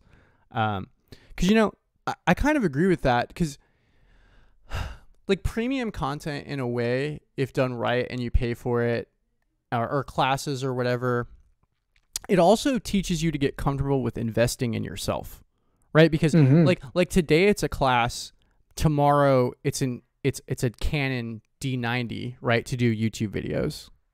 Right? Yeah. It's Yeah. but but your brain is comfortable with the investment because you're like, "Oh, this is going to make my life better." Like I'm buying this with Yeah. purpose. Like I bought this class, like I understand. So I don't know cuz cuz I, I think it's all about intent at the end of the day anyway. Like your intention as like a person or an artist and like what it is you're trying to do. Like I think that at the end of the day if your only intention is to like make money, you're not going to go very far. I think if your intention to, is to help people, then you're gonna find a lot of avenues to help people on on all different levels, right? Because also some people want to spend the money because they want you to take it more seriously. But I, I, I do Mm. also think that too. Somebody's like, "Look, Jason, I'm a fan of yours. I want to give you two grand because I want you to teach me, right? Like they almost feel like they have to, right? Maybe that's how you felt with that oil painter guy, right? I know Yeah, I felt uh, that way with um I took uh, what was this Brian? Wynia. I took Brian Wynia's class online. Uh, Oh, cool. creature Yeah, a yeah. creature modeling class. Yeah. And Yeah, and I was I I was super happy to give him money. I didn't even think about it. Exactly. I was like, take it. Here. yeah I, I so to me that is the that is the the great like mixture of all the things a pure thing that can happen i think there's i think we should be doing both um you know i do think information should be free and open and passed between everyone we should all be sharing information um, but then there's like an additional thing that we can provide in that kind of an environment that's that's like a, a hyper more condensed serious version. Like you know that in that one oil painting class which was i don't know six or eight meetups um i learned you know that was it. I mean i wouldn't have been able to get it from a book or a dvd it just wouldn't have been the same. The fact Oh that yeah. the first session by the way so let's say it was six or eight sessions i don't remember something like that. The first session was he does it. And so it was just quiet. So for three hours all the students are just there and he's just there's the model and he's just doing it. So so just the fact that i was like wow i just paid to just watch this dude in real time do it. And that was honestly i learned in that first thing because nowadays we have streaming right? Um seeing a master painter paint and his cadence and speed i still remember today. And that's where i and that's where i catch myself when i'm doing something too fast. Like his paintings look like they have so much energy and he does them in one session you know it's called alla prima to to paint in one session where the paint is just wet and he's just like looked at the model looked at the canvas little paint stroke you know and Yeah. then three hours later amazing painting and i was like holy shit because you think you see time lapses you just think you know you, eh, i don't know why but anyway so that was a lesson in the first thing No, I know exactly what you're talking about. You watched think them. you have to move that fast for whatever reason. Yeah, You're like that's how you don't fast move you that fast. When you know what you're doing, you don't need to move fast. And then uh, the other thing is like he comes around obviously, and then he gives you feedback, and then also you can ask him a question. Now that is what is valuable. Now, as Yeah, you know, as someone yeah. that wants to learn stuff, that's what I know is the most valuable because that's the most valuable to me. The fact that like, and I and I, I put this in videos. There's stuff that t- you it took you and I years to learn because we didn't know, or we found it in ZBrush, or like we found out we were doing something wrong, or there was some big shortcut. And so I love to give out those nuggets if I can, like something that took me five years to realize, I can just tell you in, in one sentence. Yeah, but- yeah. Like In- in AccuCurve. Yeah, yeah, yeah, or uh, or even like polygroups or hotkeys. Oh, polygroups, ton dude. I didn't do. Yeah. yeah. But yeah, but being in a student teacher environment and being able to say, hey, how can I do this? Or I have this problem, and then boom, we can solve it. That I think is huge. Yeah, I, I agree, and that's why like you know, I I'm tippy toeing right now. Like I run a Slack channel. I call it like Hack, uh, Hyperbolic Art Chamber, but then also we're like hacks, right? Ha ha ha. Mhm. It's a joke. Uh, To help- uh, and you know, I'm just dabbling with mentoring people because that that direct hands-on stuff, it's it's invaluable, really, because because you can actually fix somebody's problems for the rest of their lives with like a two-minute demo on top of their work, and you go, oh, this is just you just had to look at it like this, and then they do what you're talking about. They do it forever. Um, I learned hard how to sculpt, like actually sculpt hard surface by finally just sitting down and watching the lead character artist uh, at Red 5 do it. Like he was just doing it and I stood behind him and he just let me watch. and it was kind of the same thing. I didn't just see his cadence, but I also sort of how saw how he was using the brushes, and he was using like the smooth Yeah. brush in a slightly different way than I was using it. And the other thing he was doing, and and it it's something I mentioned it in a video too, and it's something that's hard to tell people. The way to get corners in ZBrush sculpting hard surface is to actually treat the corner. Like people let it get round, right? And they don't go in and they don't like either yank that thing out and make it just like a nice hard corner or whatever. They sort of let the mesh be dictated to them, right? And so to watch somebody, I wouldn't even call it fighting it, tell the mesh what to do. Like that's that's what it is. The guy went in, I watched him tell the mesh what to do. I was like, oh, okay. I, I would never figure that out by myself. Or at least if I did, it would have been many, many years, right? Yeah. So I know exactly what you're talking about, man. I know exactly what you're talking about. And you know what though? I think though there, there's a chain a way though, you know, speaking in niches, to to chain all these small communities together though by getting like you and I talking, to getting everybody talking together so you see more overlap with people Yeah. and start going like and then you start seeing like, hey, how come all these guys are good? And you're like, oh, well, we all hang out together and we all push each other to be better. Like that's that's always how it's been, and it's always probably how it's gonna be. Because I, I Yeah. mean, like I stalk you on ArtStation, I stalk AJ, you know, I stalk Kaylin, you know, I call it stalking, but I keep I keep up with everybody's work, and I just every time like you released that Kobe thing, and I was like, oh, bitch, like. well, well, it's like, oh, I got to get a video, or like, um, you know, I. The reason I have a foreground element is because I saw in your video you have a foreground element, you know, and Yeah, but like, dude. the, but the Hey, reason the I- first rule of game design, dude. Right, steal exactly, and and that's what people have to understand is that like, one, don't just steal from other artists, steal from your friends. Your friends doing something tight Yeah. that you can do too. Fucking Oh, gank it, yeah. gank it. Put your Yeah. spin on it. I mean, though. it- that's that's why we're uh, that's why we put out um stuff anyways, right? I mean, I I hope people steal stuff. Um, there's some saying that I can't remember. Something good about. artist borrow, great artist steal. That one. I mean, I actually do. I have it right here. I mean, check this out, dude. I mean, what could I be more topical right now, bro? could I be more topical right now? It'd be awesome if I. be more topical? I have other books. It'd be awesome if I lifted the I same book. rabbit. No, I'm just kidding. Yeah. Okay, could you? Yeah, if you had the same book on your desk, that would be something, dude. No, I have I have other But, uh, books, but it's not that it's not that book. But there you go. There you go. You have the book. point, dude. Um, but yeah, what was I gonna say? Oh yeah, there's something about we all rise. You know, when we're sharing information like this, when we're when we're having the healthy competition, we all want to be better, but we're sharing. We all rise together. That's that's what happened at AI, and that's what I think can always happen.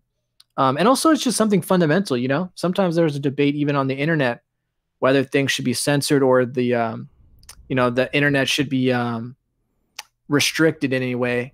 And I think the internet represents something very profound uh, and it's just the freedom of the freedom of information is a big deal, and I think it makes uh, the whole world better. So I just think as a fundamental, uh, intentionally keeping knowledge, you know, separate for any reason, I don't think is a is a healthy thing. And yeah, and I don't feel like we should any of us should feel threatened by that. Like I say, the hard work is the is the time with your butt in the chair, and I can't I can't teach that. I can just I can just push you and urge you to do it because I think your life, my life ended up being much better because of that.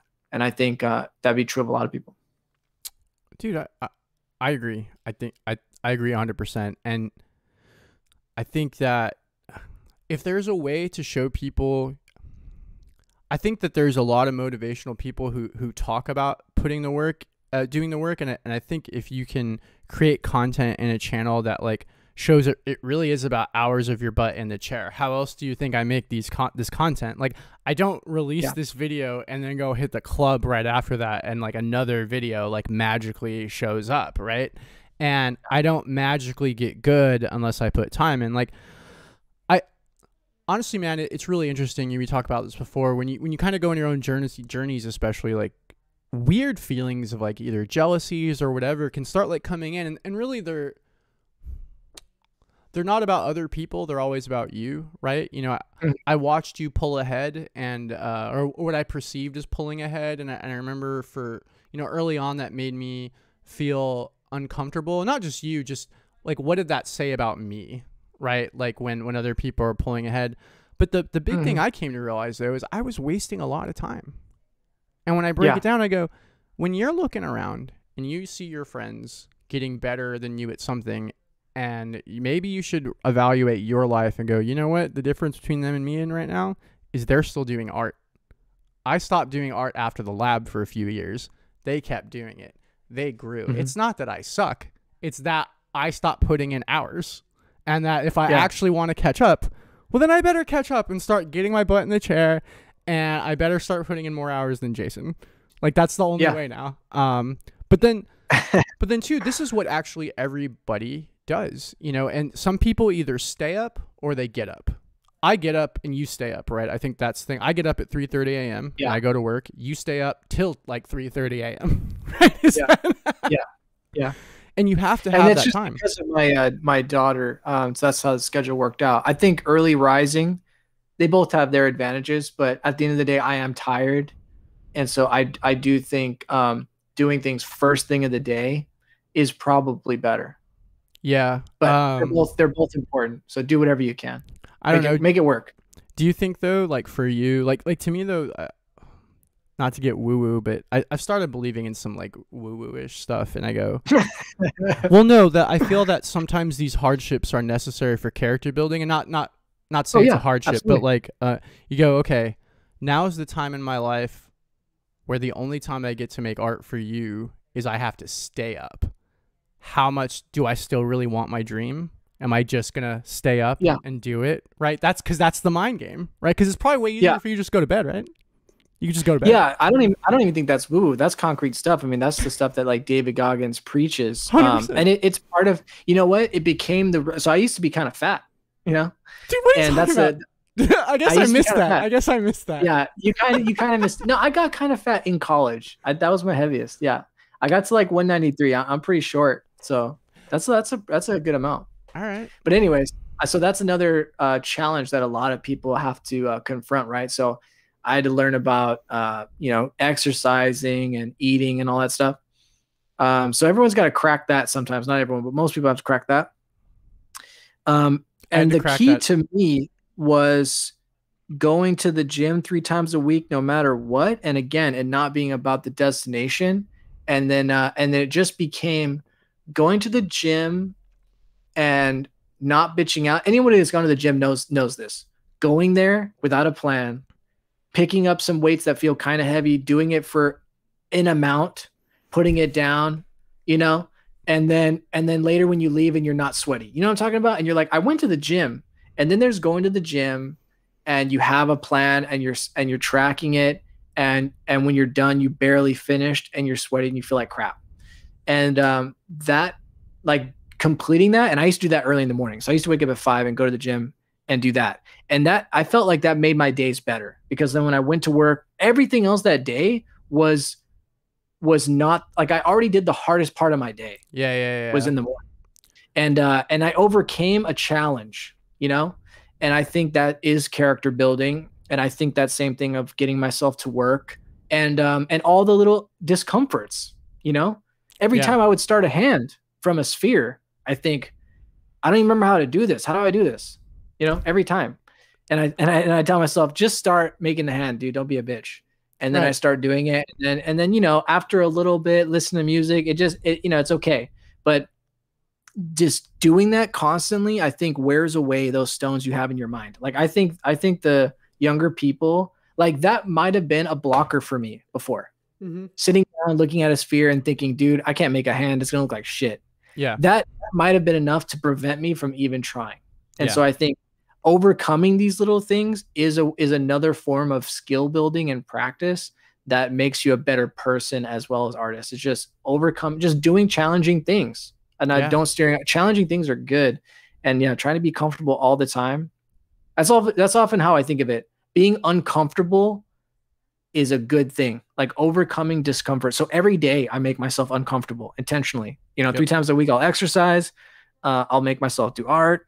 Um, and i try to do it in a positive way like i don't try to like um, chastise myself i Yeah. just try to make sure that i'm not being comfortable so like when i do like sit on the couch and watch a movie and eat like popcorn and chips I feel like, yeah, dude, I'm just gonna do this today. Like I earned that shit, and not just feel like a fat ass. You know, I'm doing that every day, and like, and feel guilty that I'm not in my chair right now. Like I, I feel like I already did stuff, and I earned this. You know? Yeah. So, anyways, I, I don't think that's woo woo at all. I think that's legit. I think that's legit part about being a better human is doing that stuff. I think, I, dude, I, I agree. I, everything you said, especially about like the, so I do the same thing. I get up, I jump rope, I do whatever. Um, and actually, I started doing that even before I started going down the Goggins route. Like, cause I, I grew up, um, playing. I didn't play high school sports, but I grew up doing all like the local sports through junior high and being a Boy Scout and going camping and doing all these ath- athletic things. Yeah, dude, are you really? Were you? we Webelos, dog. Webelos. No, I We I. I was a I was a Boy Scout until I was like 17, dude. I like I stopped at Eagle because I was like, dude, I think this is stupid. Like, I don't want to go camping anymore. Did you not get Eagle? No, no, I, I did not get. I didn't either. I stopped right before. They were like, "So are you gonna go for Eagle?" And I was like, "No." I was before Eagle, and I and I regret not doing it. I was like, dude, I made it the whole way, and then I bitched out. But anyways, go ahead. dude i did this i kind of did the same thing but like in retrospect i think it was the right decision because you know i, I did boy scouts and sports for my parents but what it did Yeah. was is it sort of taught me this discipline and then later in life i went through some things and then i got presented an opportunity and when i got presented in this that opportunity i had a choice to make and and the choice was kind of I call it being an adult, but being an adult, like I knew I had to start hitting the gym. I knew I needed to get my mind right, my body right, and like part of my spirit right and aligned to do the task at hand. Because if I didn't, I was going to destroy myself like I did before, right? By somehow mm-hmm. Not doing these rituals, by not sort of keeping myself in, in, it's like a car, right? Like keeping it tuned up and like purring. It was, it was actually working against my art because now I can stay up longer, right? Like now I have more energy. Now I'm now I'm also less anxious when I sit in the chair, right? Like I don't feel like I have to move around a lot. All of these Yeah. things. But then the, the other thing is is I I start feeling more confident about myself as a person, right? Because you, Mhm. you start there's something and this is why I love Fight Club and this is why I love boxing. There's something about testing your physical limits as a person that makes you believe that you can go further like in these analog and digital realms and I don't know what it is. There's something about going like, "Man, I really sweated it out today. I think I can really sculpt something good today." And and then also knowing that like you're handling things that like keep your spirit and your conscious clean. There's something about all that sort of aligning that allows your art to come from sort of a different place from just this grit and bear it. Right? It kind of just goes like Yeah. it sort of feels more like you're doing what the universe wants you to do as opposed to what you want to do and that you're sort of opening yourself up to just being this conduit uh, conduit of creation right and and inspiration which is why I got into art in the first place you know I think that a lot of people they get caught up with like I got into games because I thought of games as art forms. I felt games like Final Fantasy 7 and Metal Gear like they touched my life. They changed the way like I viewed things and I was like, "Wow, dude." Like when I played Metal Gear, I was like, "This person has taste." Video games can have taste. Video games can be adult. Video games can be like movies. I need Yeah. to be as good as I can so I can be Hideo Kojima. I need to get as good as I can because to me, this is where high art was going. I was like, oh, now we're telling these interactive stories and we better be good at it. Like, we better be good at it. And I think a, a lot of people, a lot of games that are made now, they don't, they don't quite inspire me like the old ones kind of did. So, and, and I think that, I think that's because the industry has kind of changed in a little bit, but I still want to help people and I still want to do art for like those reasons, right? Like I don't know about you if you were inspired by that early stuff. Well, um, it's kind of ironic that I got into games, you know, because they didn't get me. My parents didn't allow me to play games, so I didn't play any Final Fantasy game. Um, but uh, games did make a big influence on my life. Uh, the main one I saw, so I saw my friend playing Metal Gear. I've seen the first level of that Metal Gear game a lot. the coming out of the water and Yeah. knocking on the thing. So I've seen that a lot. I never played the full game, but I was aware of it. I thought it was really cool. Then the game, I the game, the first game that I remember having a huge impact on my life was uh GoldenEye Okay. and the four player split screen on GoldenEye. I just thought it was so fun. And then uh, later on, you know, like I said, I, I grew up with a with a Mac at home. I still have a Mac now. Yeah, I know. And at the a punk. time, you couldn't play uh, Counter Strike on a Mac, right? And then um, Yeah. and I, did, I didn't know that. I played a lot of Quake 3, which was cool. But there was this computer cafe that that opened up in our city when that was a thing. And um, so we would go there after school. It became a cool thing that kids did in school. And you would go there after school and play Counter Strike. And there was like in that community, there was like a famous kid who was amazing, you know? And uh and one. you would be there and you'd all be playing. And I just like that that those feelings and stuff uh were huge for me at that time. I went there with my friends. We would stay there for hours. We would play. Um and then uh the next big one was Call of Duty 4 on console revitalized that for me on console now. So that was like I was playing a first person shooter. I remember like playing a first person shooter on a console with my friend and I was like this is great. Like holy shit, they did it. Cuz I remember thinking like I wish Counter-Strike was on console so I could play it at home right. and uh and I, I remember Orange Box came out and I and I tried it and like you know TF2 on on there was terrible and I was like what is going on and then um and then yeah Call of Duty was just made for that format I guess and for some reason it unlocked it the fact that I was playing a multiplayer shooter on console and the big the big one before that I think it was before that yeah was SOCOM and that was the that was the most influential game of my life there was a game called SOCOM and then SOCOM 2 US Navy SEALs that was the first online game. It was the first online shooter game. And so it was a PS2. And so my parents got me a, P- a PlayStation when I graduated eighth grade. yeah, That was like yeah, the yeah, big, yeah, yeah. they're like, now you get a console because you're older. And I was like, okay. And um, so to play SOCOM, we had to go to the store and buy a modem that came out later. I remember it goes in the back. back. Yeah, yeah, yeah. Yeah. And you plug it in, and then I got online and like, and then there's other people, and there was no friend system, you know, the party system wasn't there. So I was like writing people's screen names down on paper when I thought they were cool. I was like, dude, Yeah. we're gonna play again, bro. And like I met somebody on there who was in the military. Uh, I called him I called him Geek because that was his name. His name was Geek USA. He was on a military base in Washington, and we like became pen pals, dude. So I met him Yeah. online. I thought it was funny.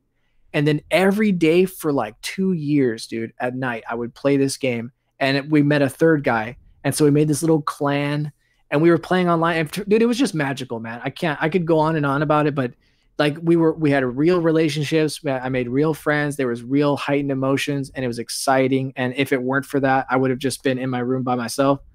And uh, it was formative years. And yeah, so that stuff I think made games extremely important to me. And then when it came to the art, though, I think I always held like things like Lord of the Rings and Star Wars up there.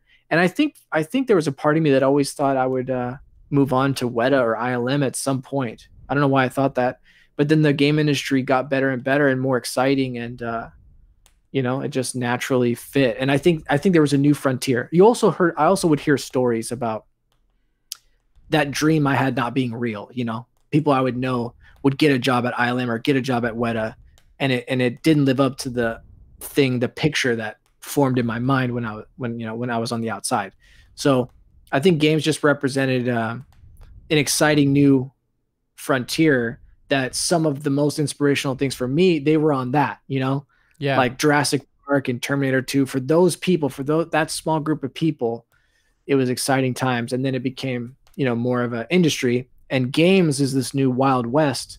So I think that was exciting. I think that's what lent us to be you know making moves and trying to get in there and make things happen I don't know just it still seems that way it still seems like like UE5 coming out it's exciting the new consoles are exciting um, it just keeps getting better and better. I mean, the fact that you know we have these phones that are literally better than PlayStations, uh, like we Oh, all yeah. have them. yeah.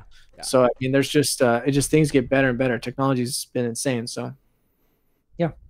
Dude, it- it has been insane, and it's it's been kind of like an interesting ride. And I agree. I I feel like all of our goal was to work at ILM and shit in college, and and I, maybe it, I, maybe it wasn't so much about the Maybe it job. Maybe it was more about the quality bar. We were like, this is Yeah. the caliber of stuff we want to make. We want to be able to make stuff that's so good it can be a digital double. We want, because we would talk about this, right? We'd look at the Vancouver Film School reels, right? And we go, oh, we need to make shit like that. Like, like that's Yeah. the bar.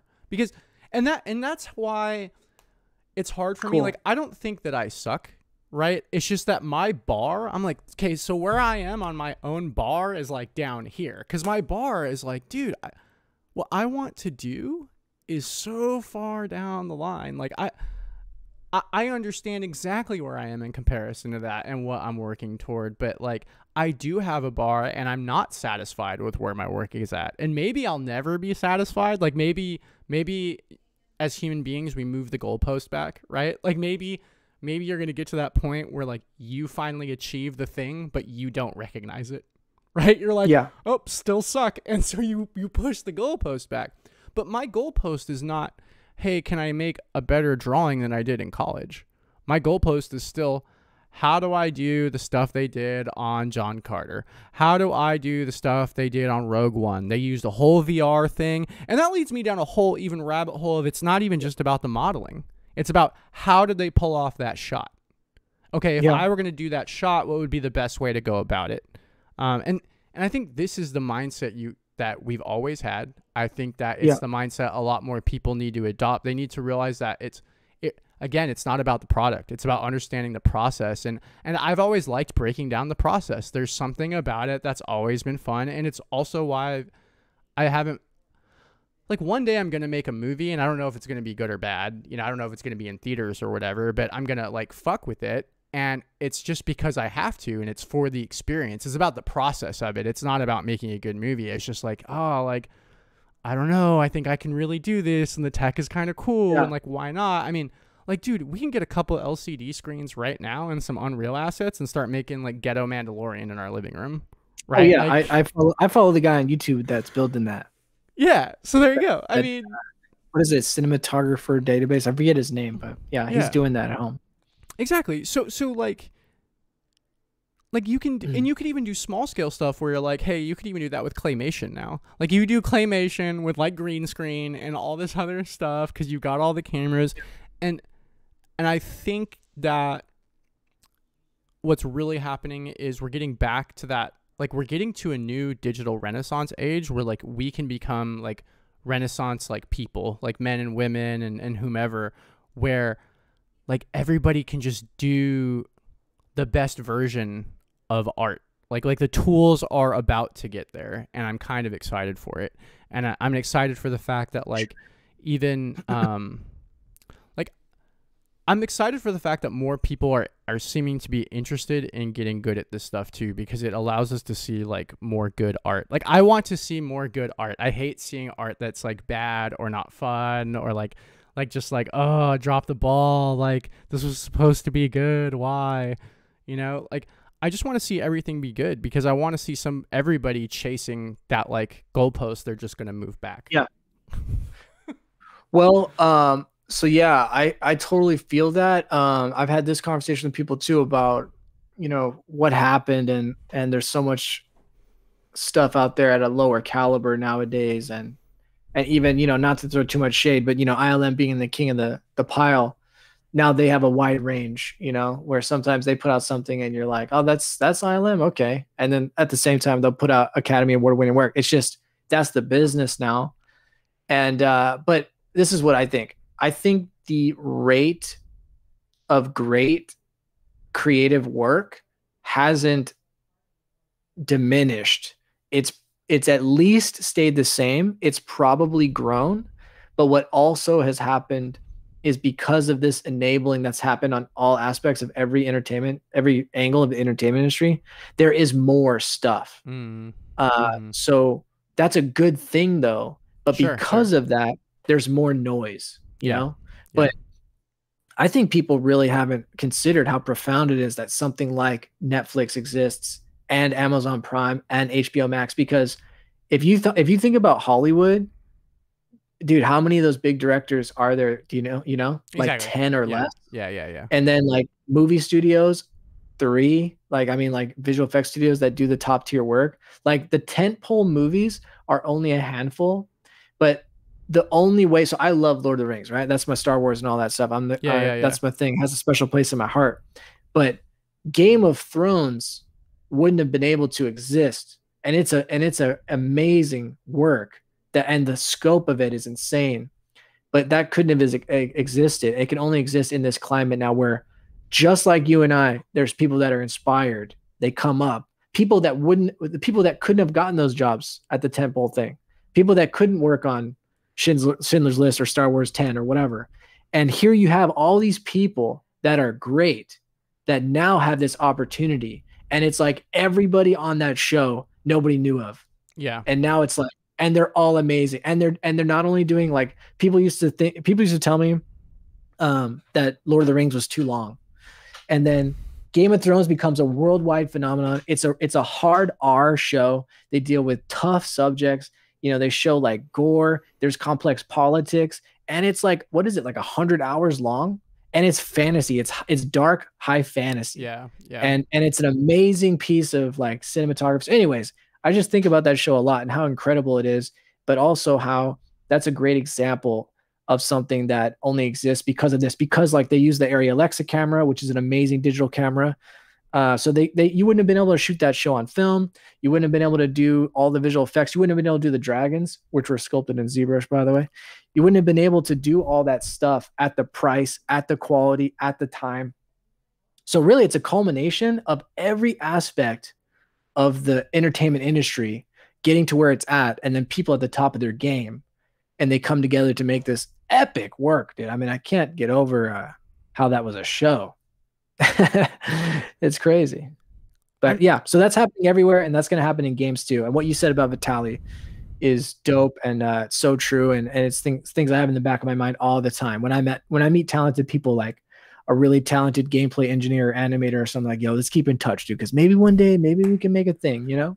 yeah, dude. And you know what? Okay, so and like you have always been like that. Dan has always been like that. Like you guys have just always dabbled with stuff. Like it's always been like, oh, like maybe we'll do this thing. And and you know, I think I think those maybes, like the more maybes you can have as an artist sometimes, like those are like these like those little drops of inspiration, right? And like these gold nuggets to like or like these bread cum- crumbs to try and chase that like may lead you to greatness, right? And You're like cuz like one of these days, maybe one of these maybes might turn into like a yes. Or like Yeah. maybe all these maybe people that you met, I don't know, you're working with them one day and I don't know, you're all making a little bit of money and you can pay to have some stuff done, right? And you can start just bouncing things back and forth. And, and when I talk about a little bit of money, I think it makes uh, people think we're talking ballers numbers. I'm like, no, like very small, very, very small, you know, paying somebody's hourly rate essentially for Mhm. a piece of concept art or things like that, which is becoming less expensive when you think about it. You know, paying a, a concept artist like say fifty dollars an hour and only you know needing them for eight to ten hours that's that's not that expensive really to like do your own project and to get like some professional work done Yeah, for what you're getting. Yeah. yeah. Um and and we're going to get to a point where not only do some of these things become cheaper, but again the technology becomes cheaper where you're like, "Cool, I can spend a little bit here, I can do the rest for free in Unreal." Yeah. And I did it all by myself, so unless I make a million dollars or whatever, like I don't owe anybody any money either. Like Yeah. and you know what? You're gonna start seeing, and what what it's gonna be is it's gonna be like nine and ten year old prodigies who just make us just like face palm. Yeah. Yeah, yeah, no, definitely. Um, I mean, I think about that. You know, you talk about inspirational games and everything too. I just I did want to mention Jenova Chen being a, a game designer that I consider um, the next generation. You also talked about games being an art form, which is a which could be a big and controversial subject to some people. But I agree with that. And I think Jenova Chen, the guy who uh, who made um, he started with Flow and eventually so- Sony locked him up, or he started with Cloud, I think it was called, and then did Flow for And Sony. and Sony yeah. locked him up into a contract, and he made several games, including Flower, and then uh, Journey, I think was the last one, and then he did Sky right now on the phone. Anyways, um, that guy, I love hearing him speak, and you can see in his work. I I I, I think of him as like a guy who is, you know, you think about those kids, like the younger millennials that like grew up with the internet. Like this is a guy who grew up with games being like a solid, like Kojima was a thing, right? And it's so cool to see how he like is learning. He gets what game design is, like Yeah. this communication, this like new form of emotional um design that you're designing the emotions of the player to get and if you're going to tell them a story you have to design them going through the emotional Yes. thing Yes. and it's uh it's an it's an and so it's great because you see like in flow to flower to journey he's he's gradually opening scope so i really think of him as a i don't know about a prodigy but a guy a, a young he was young. They, he was in college when he made his game and then they got him from that college even tried to like get his money dude. What was it? Uh usc he was at usc and he made his first game on some imac in the lab there and they were trying to get his money. Dude everyone everyone trying to get a piece of that guy. So i i'm always interested in his career. I think he's doing it for the right reasons. And he's like an artist you know? Uh and he's Yeah. his paintbrush is game design and uh you see some people jump and their first game is like it's a military simulation post-apocalyptic thing with like big guns and tanks and shit and it'll be like open world online mmo and you're like bro i don't know if you know what you're what you're talking about. This is crazy. And this guy is like i just uh what if you were a fl- i want to i want to make people feel like they can fly. And then he he designs a minimalistic game around that. Yep. uh, journey was an awesome experience i played that and i got the experience that he wanted meeting the people figuring out how to communicate with them. Uh anyways i don't want to go on too long. Anyways uh i agree with you about the new wave of people and you we can learn a lot from them because they take seriously the things we take for granted and they they don't second guess themselves the same way. For them what they're doing is serious. Yeah. and um just like when we were young you know they're not they're gonna they're gonna show us the way probably and i think the stuff that unreal is doing i'm so happy about how epic has treated their their success. Um you know riot riot got a big uh dragon sized amount pile of money you know and uh it kind of grinded to a halt in terms of game production. They've Yeah. now since put out some games. I'm happy about that. It seems like they've turned a corner. But for like six or eight years you know the word in the industry was like what happened? These guys are they going to do it? Like i think they were so worried about the sophomore slump they were so worried about their second game not being a hit that they just couldn't do it. And it, it felt like an artist's brain the stuff we were talking about like the thoughts you have as an individual. It seemed like as a studio they were having it that they would start Yeah. a project and go that's not good enough. They would start a project ah it's not good enough. And i was like dude i don't know if they're going to get out of this.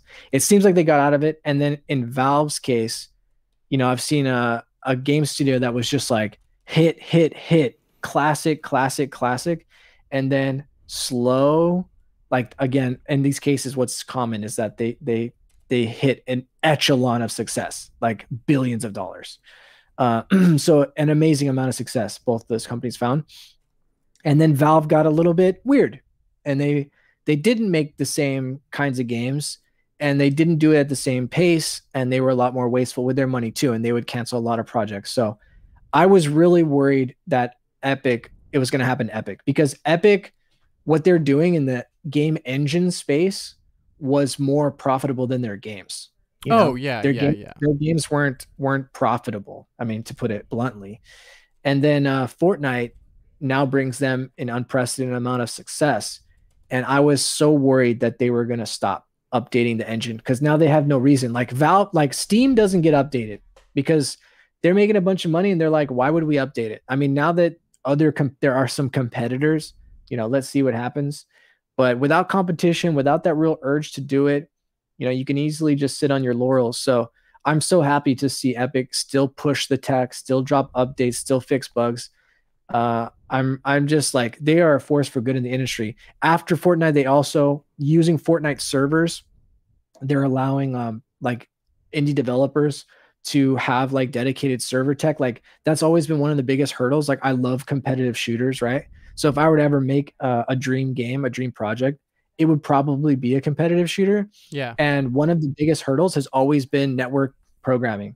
Like you, you have to get a talented network engineer, Yep. then you have to figure out servers, and it's a big deal. It's harder than I don't even fully understand it now, but I've learned that that is a big hurdle. And now Yeah. Epic has enabled people in that way to use their tech that's already set up.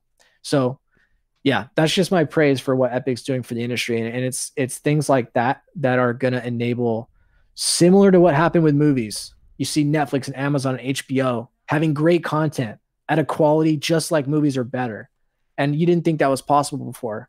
And I think we're going to see that. I think we're going to see games. You know, you and I have probably both been a part of the like 70, 80 million dollar AAA tentpole kind of game. Yep. And that's what keeps the industry up right now. That's what a lot of people work on because that's where the jobs are at. It's good security, bunch of reasons why it's good. And also you can make dope ass games. Um, but now that tech's moving like this, yeah, I mean, more people can make those kinds of games um, in, with smaller teams. And that's exciting. The future looks really good. future the future does look really good. So I think let's see, we're approaching like twelve thirty. I know I've got to like use the head. Um, Yeah. I think maybe Yeah. we should wrap up this one, but like, man, I, I'd like to do another one of these. I think that we've only gone like halfway through our, uh, the conversation we need to have, man. yeah, this Um, was good, man. It naturally flowed. Uh, it, it was fun talking to you again, dude. It, it's probably good that we haven't spoken in a while and we just did it on podcast. I didn't realize till you mentioned it, but I was like, we probably didn't speak for years, and then just our first conversation is just like, let's record it. yeah. It worked out. Oh, totally. This was fun. Yeah, It I was could do this forever, man. So we'll definitely do it again. Yeah, we'll definitely do it again. Uh, thanks for coming on, man. And um, dude, let's just keep in touch. I, you know what? So to, be- I think to be fair, we haven't talked in like five or six years, and then there was like maybe a four year gap between that. And so I think, Yeah. I think we need to cut that out. Um, I think we just need to, I don't know, we need to get the the band of misfits back together, making their own stuff, but sharing it with one another and uh and and the world, I guess. But mostly Yeah, for our, I- for our I- own amusement. That sounds that sounds dope. Um, I think I think we should do that. Let's contact these guys and let's see. I mean, let's see if we can revitalize uh, at least some of the energy from the lab back in the day, and uh, and yeah, just just get the band back together again and try to make things that also can help people if they want to do some of this stuff too. Yeah, awesome, man. Well, thanks for being on the inaugural podcast and hanging out in the lab, dude. We have not hung out in the lab since like what 2009, so this was a good time, man. I missed it. Perfect. All right, dude. Well, Thank I'm you, gonna dude. I'm gonna cut this stream, and uh, I'll, you know I'll hit you up probably this weekend, man. Okay, cool. All right. Take care, everybody. It's been the Zorro ZBrush, Joe Solo, and this has been In the Lab with Joe Solo, brought to you by Sculpting in ZBrush.